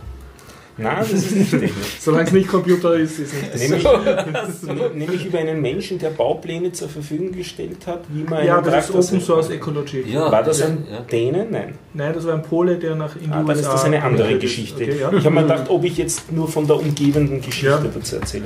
Und Ich zwar, bin durch den 14. Bezirk gegangen und bin bei einem Lastenrad vorbeigekommen, das ich sehr witzig designt gefunden habe, weil es im Okay. Prinzip aus Alu-Vierkantrohren gebaut war, was ein, gewissen, ein gewisses Stilelement irgendwie ist. Und die, das ist so dieses Konzept von diesen Babos und so, da hat man vorne eine große Kiste, äh, links und rechts ein Rad davon und dann hinten hat man einen Sattel und ein Rad. Also es ist ein Rede Dreirad auch noch. mit zwei Rädern vorne und ein Rad hinten, vorne große Ja. Kiste aus Alu Vierkantprofilen und die Wände äh, aus Plexiglas. Was so wie eine Mischung aus Scheibtruhe und Fahrrad. Ich hätte eher irgend, ja, also von der Bauform ja, und ich hätte noch gesagt, irgendwie ist es so, so ein bisschen wie Lego durch diese Stangen, irgendwie so, diese, schön eckig so eckig und, und so, so irgendwie Modulbauweise. Mhm. Ich habe noch so andere Technikspielkästen als Kinder auch gehabt mit so langen Metallstangen und so, ich weiß nicht, mit ganz viel Schrauben. Nein, Matador ist alles Holz, aber ich habe was mit ganz viel Metall. Äh, Märklin? Ja, das kann sein, dass das mehr klingt. Mit so Schrauben, ne? Und das ist eben auch, die ganzen Aluprofile sind mit Schrauben. Und eigentlich habe ich das ziemlich cool gefunden und wollte recherchieren, was das ist, hab's aber vergessen, was da drauf gestanden ist bei dem Rad. So gesehen ist das vor zwei, drei Wochen wieder in, in Verschollenheit geraten. Und ich war aber auch bei der äh, Rad. Äh, Ach, du warst auch da? Yep. Und bei der Bike City Wien. Äh, Bike, Bike City am Rad. Ah, danke, ist das so Bike hieß das. Ja. Äh, die, die, wir, wir sind ja mitgefahren beim Lastenradkorso, der war auch sehr nett. Wir haben gleich am, Mhm. am, am Sonntag war äh, 10.000 Leute sind wir quer durch die Stadt gezuckelt. Also das war sozusagen Kritikelmaß für Fortgeschrittene, nachdem es 10.000 Leute waren. Aber was ist jetzt das übergreifende Thema deiner Erzählung? Also Dieses Lastenrad, Lastenrad, okay, ja. zu dem komme ich nämlich gleich wieder, weil dieses Lastenrad habe ich dann, nachdem wir bei dem äh, Corso durch die Stadt mitgefahren sind, dort wieder gesehen bei dieser ja Messeausstellung. dank seiner antistromlinienförmigen total auffällt. Es schaut ganz anders aus als alles andere und es ist total, also wenn man das einmal gesehen hat, dann sieht man das. Klingt ein bisschen verliebt, ja? Muss man schon sagen. Ja. ja. Da dran waren dann auch Zetteln drauf und zwar ein Hausrad. Ich bin käuflich. Ja, ja, ja. Hausrad. Hausrad. Mit also D so wie. Haus und Rad. Okay. Und wenn man dann auf die Webseite dazu geht, dann findet man, dass das eine einzelne Person ist, Mhm. Die dieses Rad in gewissem Sinne verkauft, deswegen nur in gewissem Sinne, weil eigentlich bietet er an Kurse zum Bau dieses Rads. Weil diese Aluprofile zusammenschrauben, das ist so quasi ein bisschen der IKEA-Gedanke. Ja, ja. Das kann man auch ja, ähm, das kann ein Mensch selber machen, dazu muss er nicht Ingenieur sein. Und dazu bezieht er sich auf ähm, Produkte, also er bietet nur drei Produkte an von äh, einem, einer Webseite, die heißt XYZ Cycles, also XYZ und dann Cycles zusammengeschrieben. Und wenn man dort drauf geht, dann findet man plötzlich nicht mehr nur drei so reckige äh, Lastenräder, sondern im Prinzip alle Konzepte, die wir kennen von Lastenrädern, sind dort realisiert in Form von Aluprofilen das ungefähr das auch Konzept, das Konzept von, von deinem Rad. Äh, der, der Dennis hat ja so ein Liegerad, nur ist das nicht so richtig ein Lastenrad. Wenn ihr euch Dennis Liegerad vorstellt, also das ist 1,8, vorne zwei Räder, dann liegt man äh, zwischen den ist zwei ein Rädern. Fahrradshop für Leute mit Lego-Fetisch. Ja, oder Bastelfetisch und so. Okay, ja. Und Alu-Fetisch und Okay. eckige Profile-Fetisch. Ja, Und jetzt-. Fehlt noch ein weiterer Spin zu unserem Podcast. Liegerad haben wir schon, Ja. aber was noch fehlt, ist Open Source. Das heißt, was wir jetzt noch gern hätten, sind, dass die Pläne davon Open Source sind. Und das sind sie nicht? Und oder? einer dieser, eines dieser Modelle ist Open Source. Ah, das schön, wird ja. nicht einmal verkauft. Ja. Und die anderen, die verkauft werden, werden verkauft als faire Produkte, in dem Sinn, dass sie nicht als Firma damit groß Geld äh, machen wollen, sondern dass sie es als Bausätze oder auch zusammengebaut verkaufen. Und die entstanden ist es, das ist eine Firma, diese XYZ Cycles, aber entstanden ist es aus einer Idee einer dänischen Künstlerkollektive namens N55 und auf der Webseite von N wie N55 Nashorn. wie Nashorn, genau. Ja. Auf der Webseite von n55.dk findet man nicht nur Baupläne für solche Lastenräder, Überhaupt alles. sondern im Prinzip Baupläne für alles, was es ungefähr in der Welt gibt. ja. Lego ist ja eine dänische Firma ursprünglich. Es- da schließt sich der Kreis. Nein, es hat mit Lego nicht wirklich was zu tun. Es, Also. ist, es ist eher Architektur, Design, so in die Richtung. Okay, ja. Und da ist es ein sehr markanter Stil durch diese Aluprofile. Mhm. Und viele von den Sachen sind, äh, ich sage jetzt ein bisschen bösartig, akademischer Natur. Also eigentlich Konzepte, die, die du nicht praktikabel machen Mhm. kannst. Aber bei diesen Lastenrädern haben sie jetzt was damit zusammengebracht, was einerseits cool ausschaut. Mhm. Das Zeug ist nicht drastisch schwerer als die Stahl Mhm. geschweißten Dinger, Ja. weil es ja Alu ist, ist an und für sich leichter. Die Verbindungen mit den Schrauben ist wieder ein bisschen schwerer. Mhm. Es macht einen stabilen Eindruck, also ich bin, bin schwer begeistert Mhm. zurzeit. Ich werde mich da in die Richtung weiter fortbilden. Äh, Alu muss man aufpassen, das ist äh, ziemlich torsionsschwach. Das heißt also, Torsionskräfte sind für Alu äh, der Tod.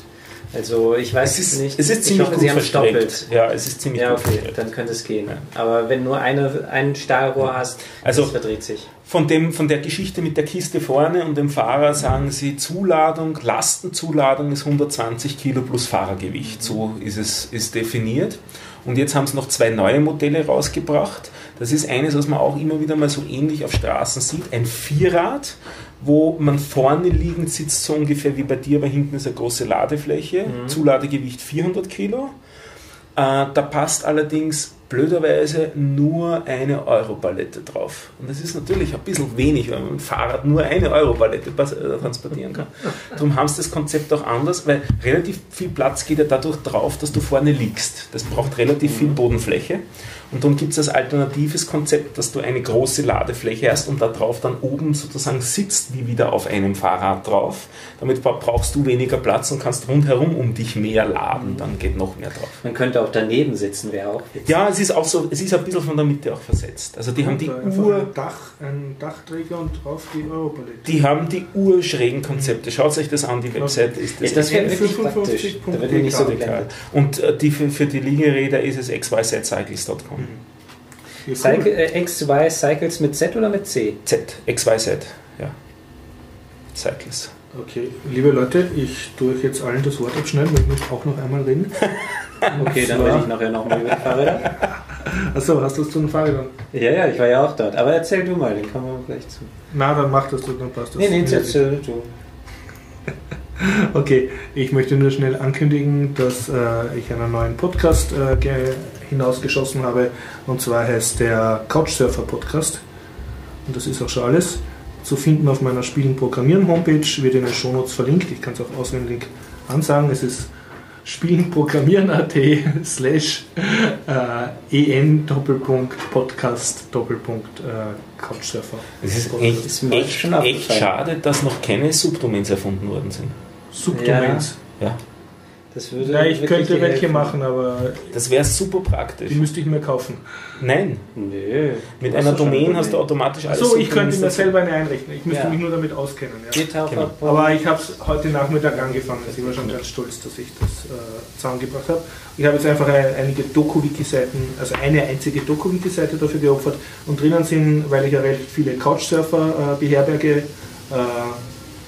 aus Spaß, ähm, bin ich irgendwann drauf gekommen, dass ich die genauso gut interviewen kann, wenn sie schon in meiner Küche rumsitzen. Und einige von den Interviews waren im Biertaucher-Podcast. Und ich habe jetzt einfach begonnen, die Interviews, die auf Englisch sind, mit äh, Couchsurfern oder Leuten, die ich halt interessant finde, zusammenzufassen zu einem Podcast. Also du hast zu Hause Couchsurfer. Ja, Ach so. ich bin Single seit äh, Oktober und habe dadurch zu viel Platz gehabt in der Wohnung. Und dann habe ich gedacht, ha, und jetzt akzeptiere ich Couchsurfer also auch als Gastgeber. Cool. Und jetzt habe ich zwar einen Mitbewohner, aber immer noch ein Gästezimmer frei und dort noch weiter beherbergen. Aber ich muss schon sagen, jetzt habe ich es eigentlich seit Oktober nonstop gemacht. Jetzt, ich habe immer noch Spaß dran, aber es steigen jetzt schon meine Ansprüche sehr. Also ich schreibe jetzt schon so, die schreiben so einen Request, also ob sie bei mir Couchsurfen dürfen. Und früher war ich, ja, ja, komm und Leihwand, ho, ho, ja, Und jetzt gibt es. Quizfragen. Und jetzt habe ich schon so eine sehr, eine ständig länger werdende Liste an meinen Erwartungen und wann ihnen das nicht passt, sollen sie gleich woanders hingehen. Und ja, also ich lehne, Wie ehrlich. lehne mehr ab, ja.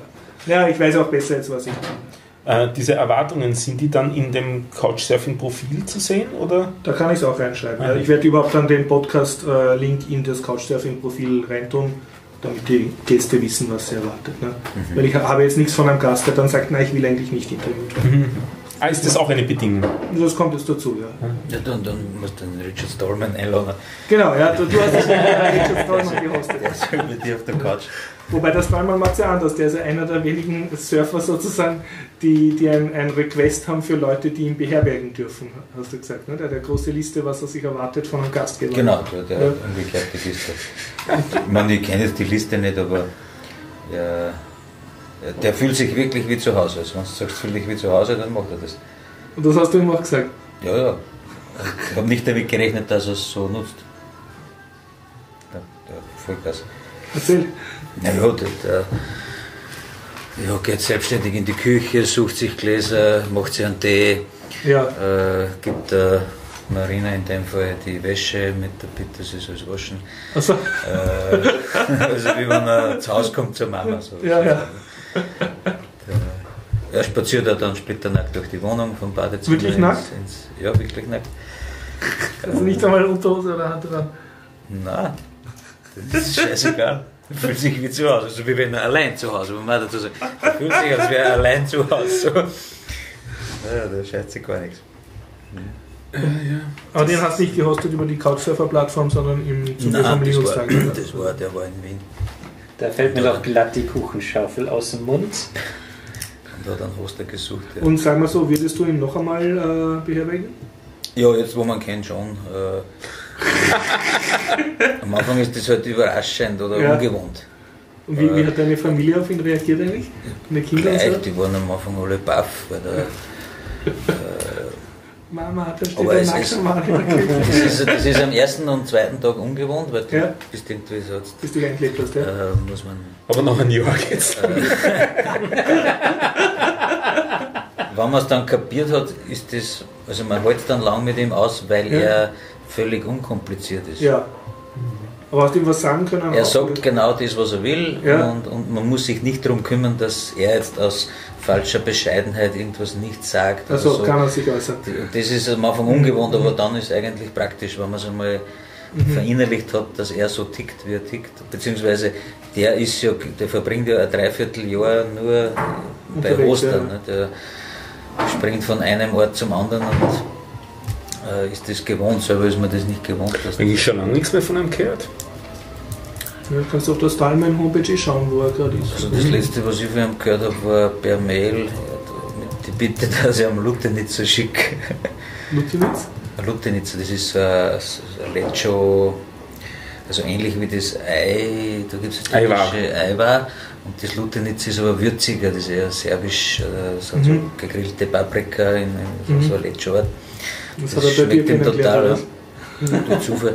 Und da habe ich ihm dann drei Gläser geschickt Ja. und als Zucker habe ich ihm oben drauf eine, eine russische Schokolade, weil Ja. er hat extrem viel naschen. Und dann habe ich aber dann nicht, er hat es dann gekriegt. Ja. Und die Antwort war nicht, war super und danke für die Schokolade, sondern Mehr. ein Glas ist zerbrochen und ich soll das bitte nächstes Mal besser verpacken. Ja. Ja, so kannst du gehen. ja. Ja, das haben wir. Ja, aber jetzt habe ich auch schon ein Jahr nichts mehr gehört von ihm. Ja, hat Du hast aber auch keine Gläser mehr nachgeschickt. Ne? Nein, ich schicke Ja. mir jetzt nichts mehr. Ich hätte jetzt eine super, super Lutenitzer, wenn ich das wüsste. ja, das wüsste. Was ist deine Lutenitzer Quelle? Darf man die verraten?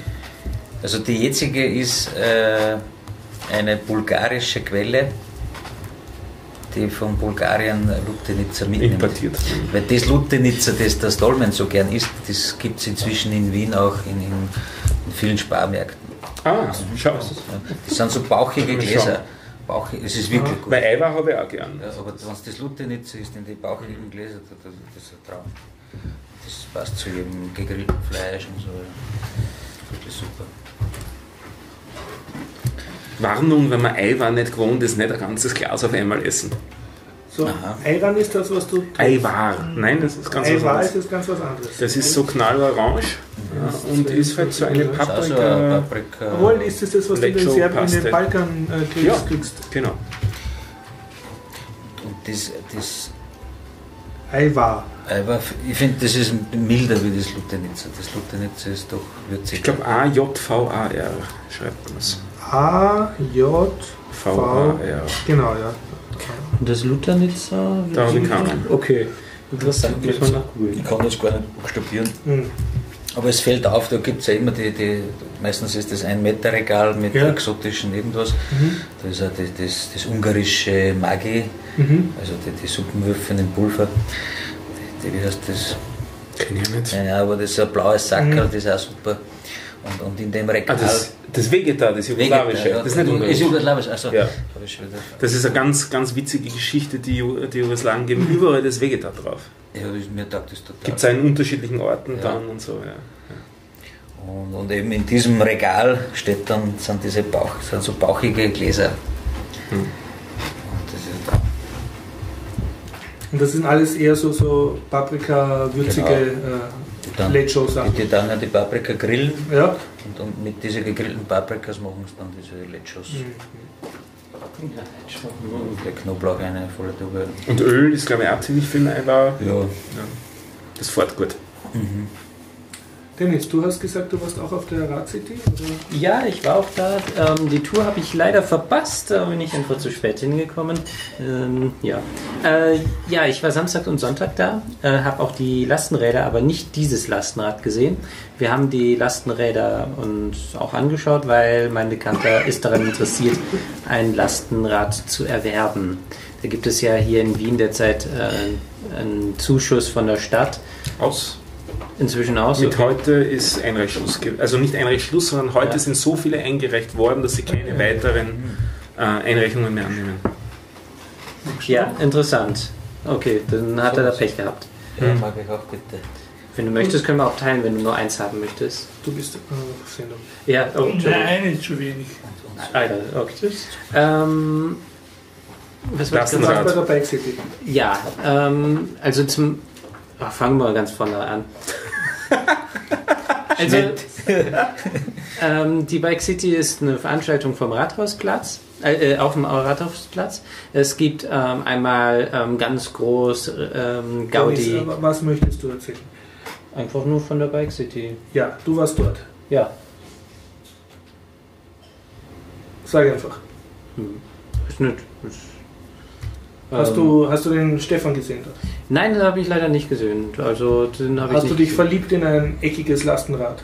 Nee, eigentlich überhaupt nicht. Die Lastenräder interessieren mich weniger. Hast du sonst etwas gesehen, was du haben möchtest? Oder was cool war? Ja, da habe ich tatsächlich, und zwar bei den Lastenrädern, und zwar eine bestimmte Bremse. Und jetzt habe ich aber den blöderweise den Namen vergessen. Ähm, eine Rollenbremse, genau. Rollenbremse. Ja, das ist ein Mechanismus, der, äh, das ist eine Bremse, die geölt werden muss. Das ist etwas Besonderes, weil normalerweise Öl dafür sorgt, dass man nicht mehr bremst, sondern dass es dann Rutschig flutscht. Ja, die braucht Öl und ist dadurch ähm, ist verschleißfrei.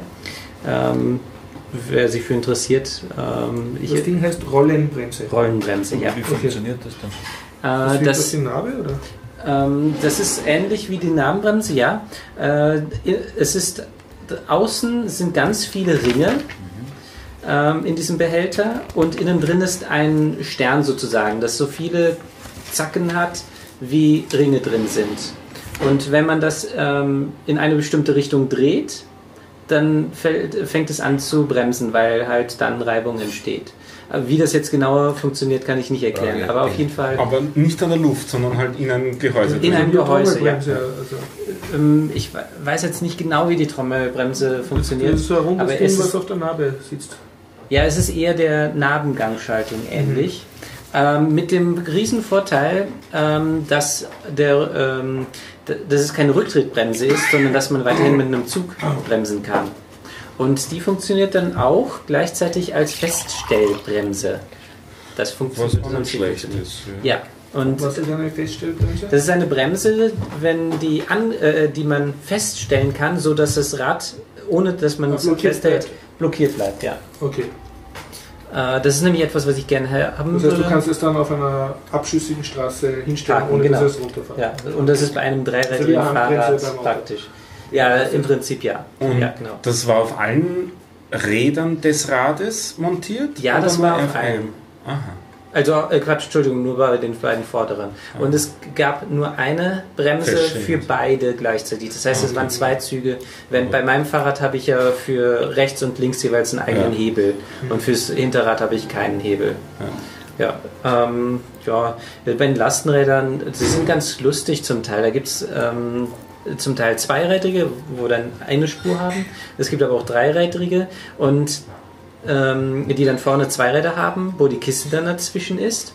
Und besonders lustig war dann eins, da habe ich mich gewundert, ein dreirädiges Fahrrad, Lastenfahrrad, mit, ähm, mit einem Ständer. Da habe ich mir erstmal gedacht, wozu das denn bitteschön? Bis da ich dann drauf gekommen habe, dass, man, dass das Ding sich neigen kann. Neigetechnik. Ja, und das ist, äh, also der, der damit gefahren ist, ich bin selber nicht mitgefahren, hat gesagt, nee, das ist nichts. Ähm, das ist Geschmackssache halt. der Vorteil von dem Zeug ist, es wird höhere Kurvengeschwindigkeiten zulassen. Ja. Also es kippt tendenziell in der Kurve nicht nach außen um, Ja. was bei, äh, dem, bei schlechten Lenkgeometrien passieren kann. Also Mhm. da gab es einmal äh, Probleme und, und ein bisschen einen Miniskandal rund um die Babos, dass welche mit Ach, Kindern vorne in der Mhm. Kiste umgekippt sind. Ja. Äh, Und die haben dann dort ein bisschen was an der Lenkgeometrie auch geändert und Mhm. daraufhin wurde das dann auch schon besser. Also es hängt sehr viel auch vom Konstruktionsprinzip ab. Ja, und diese Lastenräder sind einfach unglaublich teuer. Aber ich habe jetzt geschaut, mein Fahrrad, das ich habe, kostet inzwischen schon 5000 Euro in Ja. der Grundausstattung. Und diese Lastenräder äh, zum Teil weniger. Das ist auch ein Punkt, warum mich diese XYZ-Cycles so reizen. Mhm. Da geht es ab 1500 los, so zwischen 1500 und 5500. XWZ sind es diese 1500. eckigen Die mit den eckigen Okay. Alu-Dingern, weil es im Prinzip eben nicht, gewinn, nicht Ja. drastisch gewinnorientiert ja. ist, das ganze Ding. Da Wisst ihr da Bescheid? In, in dem, da werden sicher auch diese Elektrobikes gehabt haben, oder? Gibt es da irgendeine Grenze, wo man dann eine Anmeldung machen muss? Zumindest Ja, ein rotes 25. Tafel. Ja, 25 km/h. eigentlich. 25 und km/h. 500 Watt. Ab dann muss man es anmelden Mhm. und bei der Steuer zahlen. Brauchst du ein Elektroauto, ein Elektrofahrrad. Und dann ist es auch helmpflichtig zum Beispiel, was es vorher nicht ist. Mhm. Okay. Also wie ein Moped. Dann geht's los mit den Reglement wie Moped und so. Von 25 bis 50 km/h ungefähr ist, ist das eine Moped-Geschichte. Und dann Also ist ja dann nochmal mehr Motorrad dann. Mhm. Und Mit eigener Muskelkraft ist das nicht so fein. Ja. Und, und Moped-Limit ist 45 eigentlich.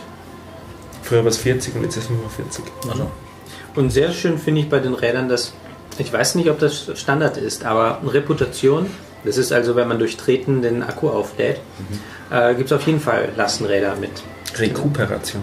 Recuper. Rekuperation ist doch, wenn du bremst und dann aufhörst, Ja. oder? Ah, Entschuldigung, habe ich falsch ausgesprochen. Ja. Rekuperation. Rekuperation. Mhm. Das fangen jetzt auch immer mehr an. Dass Aber du wie- eben bergab wieder zurückgewinnst damit. Ja. Sprich Wirbelstrombremse. Ja. Und das ist eine feine Sache. Ähm, so kann man wenigstens ähm, den Elektromotor bergauf nutzen und hat trotzdem nicht das schlechte Gefühl, Mann, war ich faul, sondern man hat ja vorher den Akku aufgeladen. Zum Teil zumindest. Ja. Und besonders, wenn man bedenkt, dass das Akkuladen ungefähr das Fünffache an Energie kostet, wie man zum Schluss rausbekommt, bedeutet das im Endeffekt, dass man wirklich wesentlich mehr Kraft reingesetzt hat, als man zum Schluss genutzt hat. Das heißt also durch Bergauffahren und Nutzen des Akkus, exzessive Nutzen des Akkus, ohne ihn jemals an die Steckdose anzuschließen, hat man mehr Energie verbraucht, als wenn man einfach die ganze Zeit ohne Akku gefahren ist. da haben sie ja jetzt, Entschuldigung, auch in der Automobil Automobilindustrie für diesen Zweck äh, Schwungräder wieder in der Forschung drinnen. Also Volvo hat das einmal angekündigt, dass das serienmäßig, also nicht jetzt um, Das als Energiespeicher für. genau, dass ich die, Ja. die Ja. Bremskraft im Schwungrad speichere und bei der Beschleunigung das wieder abnehme. Also rein Weil eben das Problem beim Akku ist, dass ich diese, also beim Bremsen, dass da so viel Energie frei wird, dass der Akku nie speichern kann. Da habe ich so viel Verlust. Und das Schwungrad kann das Aber mehr besser Jetzt Kennst hab ich noch du nicht mehr irgendein Auto, was schon Schwungrad drin hat? Oder? Ja, die Volvo hat gesagt, dass es eigentlich wäre das heuer 2017, wenn sie es serienmäßig in irgendeinem Modell Mhm. Drin haben. Ja. Mit Schwungrad, das kenne ich noch aus äh, der Dampfloken-Zeit. Audi hat es bei den Autos von 24 Stunden von Le Mans bei der, bei der LMP1, das ist die höchste Klasse, äh, einige Jahre schon drinnen. Die fahren Formel elektrisch, 1 ist Die ja fahren elektrisch oder ähm, Hybrid Mhm. und eben auch elektrisch und um Die die, haben Energie, Schwungradspeicher. die haben Schwungradspeicher. Aber ich nehme an, der, so ein Schwungrad, das klingt nicht so, als ob das leichtgewichtig ist. Das musst du erst einmal mitzahlen. Ne? Ja, Naja, die haben ja andere. Ja, wobei die über Rotation gehen, also die, die, die Energie nicht so sehr in Masse, sondern in Rotation. Mhm. Und ich habe so irgendwas in Erinnerung mit über 10.000 Umdrehungen. Also da spielt sie dann schon ganz schön was ab Mhm. bei dem Schwungrad. Das muss halt gut, gut äh, ausgewuchtet sein, dass da nichts passiert. Wenn das anfängt zu eiern, das wird Dann geht's dahin. Ja. Ja, die sind ja mit Magneten gelagert und so. Und Aber die Formel 1 hat ja standardmäßig dieses, dieses KERS-System. Was haben die? Das KERS, Was ist das? das ist diese Zusatzbeschleunigung.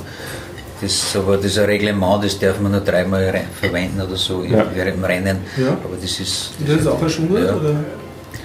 ist meines Wissens ein Schwungrad. Wie in der Formel 1 fahren sie elektrisch dann? Oder? Nein, nein, ist nur als Energiespeicher. Und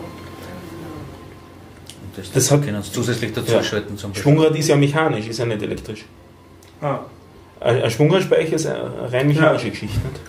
Das heißt, das übertragt er dann direkt auf die Achse zum Fortbewegen bei der Formel 1. Irgendein Getriebe wird schon haben, nicht? aber wird, wird übertragen. Ja. Okay. Und ähm, Hörempfehlung, wenn wir gerade über Batterien und so weiter ja damit reden. Ähm, Omega Tau Podcast zum Thema Batterien. Dreieinhalb Stunden, ist relativ frisch jetzt rausgekommen, eine von den letzten Folgen, haben wir jetzt angehört. Lernt man sehr viel über äh, Akkus. Erstens einmal, was sich so in letzter Zeit getan hat, alles, wie da der Stand der Forschung ist, was so in der nächsten Zeit zu erwarten ist und auch so Sachen wie äh, welche Akkus man nicht tief entladen sollte, äh, bei welchen man durch einmaliges deutliches Entladen wieder den Memory-Effekt los wird und wodurch solche Sachen alle zustande kommen. Super Podcast-Episode. Omega Tau Podcast Ja. zum Thema Batterien. Zum, zum, zum Thema Batterie. Auch Supercaps? Äh, kommen auch vor. Nicht sehr tiefgehend, aber kommen auch vor, ja. Ich kann an dieser Stelle erwähnen, dass mir das sehr gefallen hat, deine Lauschempfehlung für das Judas-Gerät vom Netzpolitik-Podcast. War das der Netzpolitik-Podcast? Na, oder was? Was für Mit Frank Rieger und das? Über Judas-Gerät. Und zwar über so äh, Geräte, die uns ausspionieren. Du hast das vor zwei Wochen empfohlen. Ja, auch nicht, mit- nicht mit dem Begriff, aber ja. ja. Ja, also der, die, die Folge heißt Judas-Gerät. Ah, das, ja, das Ja, kannst ja. du. Ja. Habe ich jetzt gehört. Yeah. Da war heute übrigens ein interessanter Artikel. Ähm, wenn man so IoT-Devices hat, also so ähm, Internet of Things Dinger, die irgendwie sich dann ans Internet verbinden übers WLAN. Und man aktiviert die über das eigene Smartphone, damit man nicht vorher irgendeinen UDP-Server braucht, um dort auf den Webserver von dem Ding zu kommen. Wie konfiguriert, wie, wie schaffen die das, dass man von, dem, von der Smartphone-App dieses, Gerät, das ja gar nichts von dem noch weiß, konfiguriert, sodass es sich dann richtig ans eigene WLAN dran verbindet. Und das lösen die so, das ist ein, ein ganz äh, interessanter Artikel halt gewesen, da muss ich den Link wieder raussuchen, ich weiß nicht mehr, irgendwas Deutsches war es, aber ähm, weil sie haben ja nicht einmal eine Verbindung hin am Anfang, weil es ist ja einfach nur eine App, die ich da auf meinem Handy installiert habe. Und sie, sie verwenden dazu, also das funktioniert so, dass man dann einmal auf, dem, äh, auf, dem, auf der Smartphone-App das WLAN-Kennwort eingeben muss. Und dann wird das Key-WLAN-Kennwort de facto eigentlich sowas wie gemorst. Nicht über Audio, sondern über das verschlüsselte WLAN. Und das Morsen erfolgt über kleine und große Pakete in diesem WLAN. Damit stört es nicht, dass das verschlüsselt ist, sondern die missbrauchen das WLAN, das verschlüsselte WLAN und senden auf den kurze und lange Pakete. Und das IoT-Device, das konfiguriert werden soll, das kennt alle WLAN-Netze, die es kriegen schaut kann. Schaut, ob es einen Morse-Code findet und wenn es so einen findet, dann probiert es das in dem, in dem WLAN als Kennwort. Das bedeutet, das Passwort wird im Endeffekt unverschlüsselt In, versendet. in letzter Konsequenz heißt das, dass das Passwort unverschlüsselt über einen verschlüsselten Kanal unverschlüsselt übertragen wird. Also sozusagen obendrauf am Kanal könnte man sagen, reitet. Geil. Das ist sowas von abgefahren. das ist genial beschissen. ja, genau. Das ist wie so eine Pulscode-Modulation. Ja, so genau.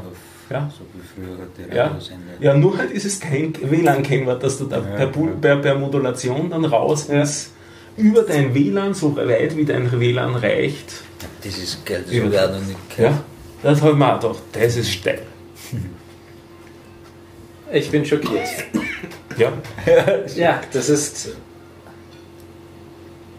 Auf das denkt man zuerst nicht wahrscheinlich. Also der, was da irgendwelche Löcher sucht. Ja, also auf die Idee käme ich nicht, weil nämlich eigentlich ist die Idee ziemlich dämlich.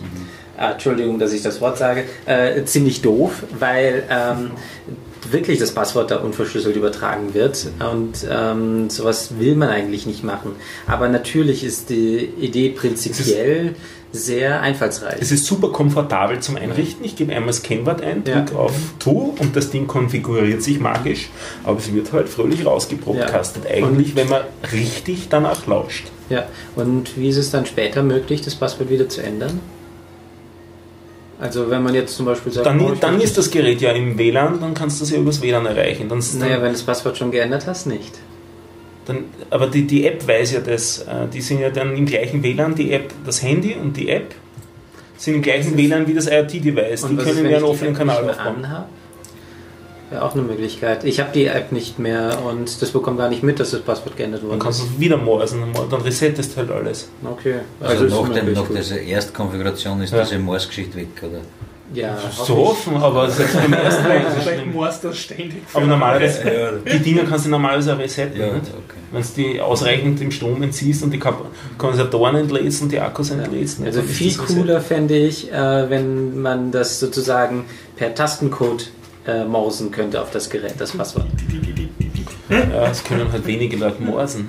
Ja, das, äh, ah ja, genau, ich weiß, wie das funktionieren würde. Man legt das sozusagen auf den Schalter, der Schalter ist groß genug und dann benutzt die App einfach den Vibrationsmechanismus des Mobiltelefons. Das, das, Ja, das ist eine gute Idee. ja, das, Dann musst du zumindest anwesend Also, Ich habe einmal gelesen, das dass ist besser als Ja, NFC. Ja, ob's, kann ob's man das, nicht mitlauschen. ob sie das auch so machen, theoretisch könnten sie ja eigentlich wirklich auch morsen. Kleines Mikrofon in das Ding rein und aus der App Ja, das ist aber ein bisschen teurer.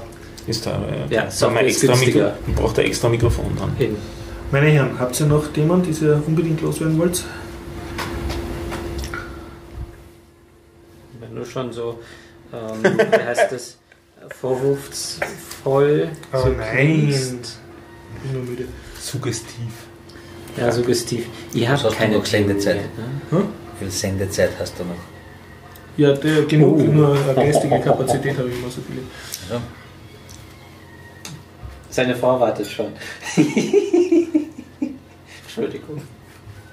Ja, der Couch, Couch warten. Couchsurferin warten auch keine derzeit. Hast du noch ein Thema, Christian? Ah, Ich habe doch eingangs irgendwas gehabt. Mhm.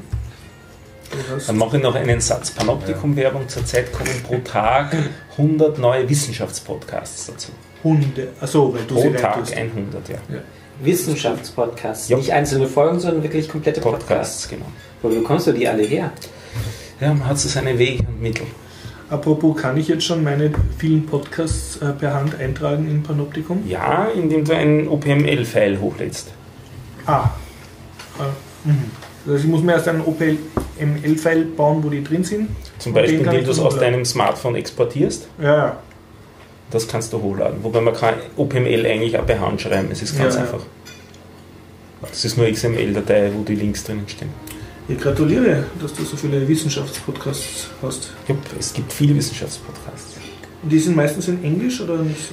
Ziemlich viel Englisch klarerweise, aber das ist witzigerweise kommt mir vor bunter von den Sprachen. Ich habe auch relativ viel skandinavisches Mhm. Zeug Mhm. gesehen. Die Sprachpodcasts waren eigentlich englischlastiger. Das Mhm. fand ich überraschend. Mhm. Weil vorher, als letztes habe ich eben vorher mich um Sprachpodcasts gekümmert. Und jetzt mache ich Wissenschaft gerade. Mhm. Cool. Du hast gesagt, du hast noch was. Ja, wir sind heute äh, mit, dem, mit einem Projekt online gegangen, äh, Whisperosity, das ist ein kommerzielles Projekt.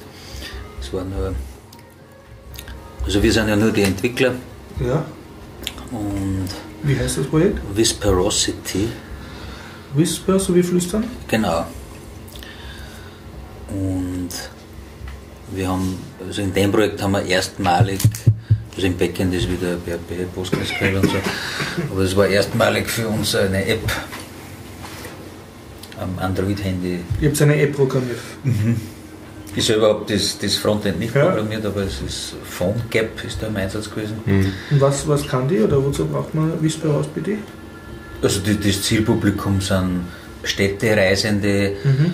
äh, die, die Idee ist sicher nicht neu, die in dieser Stadt äh, interessante also sie Punkte finden wollen, also von Restaurants bis irgendwas, Ein Touristenleitsystem. äh, wo aber eben keine Touristen sind.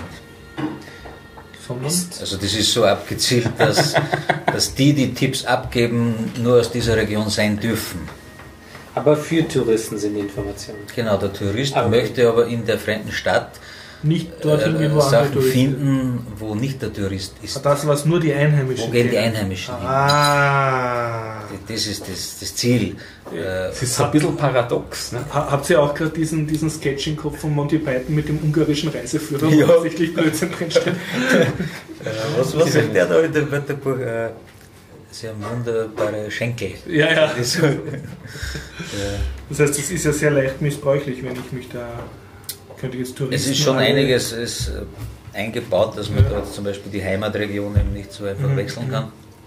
Aber ähm, also ich finde die, die Idee dahinter oder das Ziel sehr, sehr sportlich und, und Mhm. mich selber würde es auch interessieren als User. Mhm. Ob es funktioniert, wird man erst sehen. Auch wie die, das Businessmodell.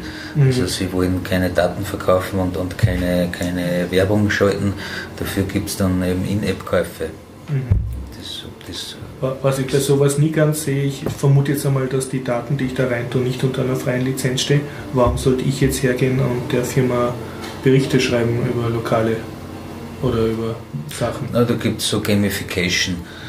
Ich Wenn ich fünf. Whispers reinstelle, dann habe ich einen anderen Status und dann habe ich andere Features. äh, Mhm. Also es wird einmal jeder Ja, äh, neue mal darauf hingetrimmt, dass er zumindest vier, ich glaube die Grenze Ja. ist aktuell bei vier Whispers reinstellt. Google Maps, glaube ich, fragt mich auch dauernd derzeit, ob Ja. nicht. Äh, Das ist, glaub ich, mehr geworden, ja. Ja, also inzwischen fragen sie mich nicht mehr, aber Mhm.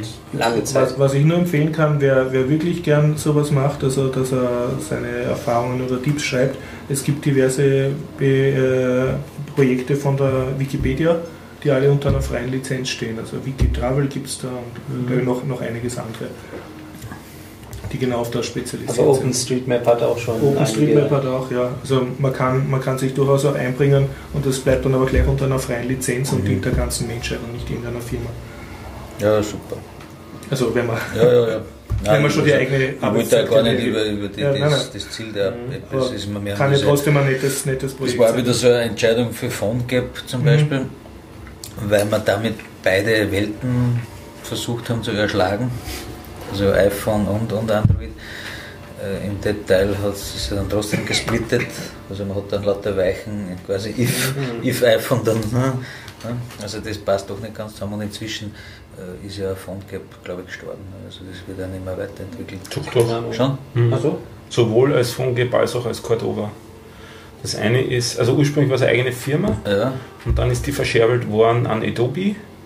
Und Adobe betreibt es noch als eigenes äh, Produkt. Mhm. Äh, Das ist an und für sich auch frei, aber wenn man gewisse Sachen haben will, wie ihre Bildinfrastruktur nützen, dann äh, zahlt man dafür.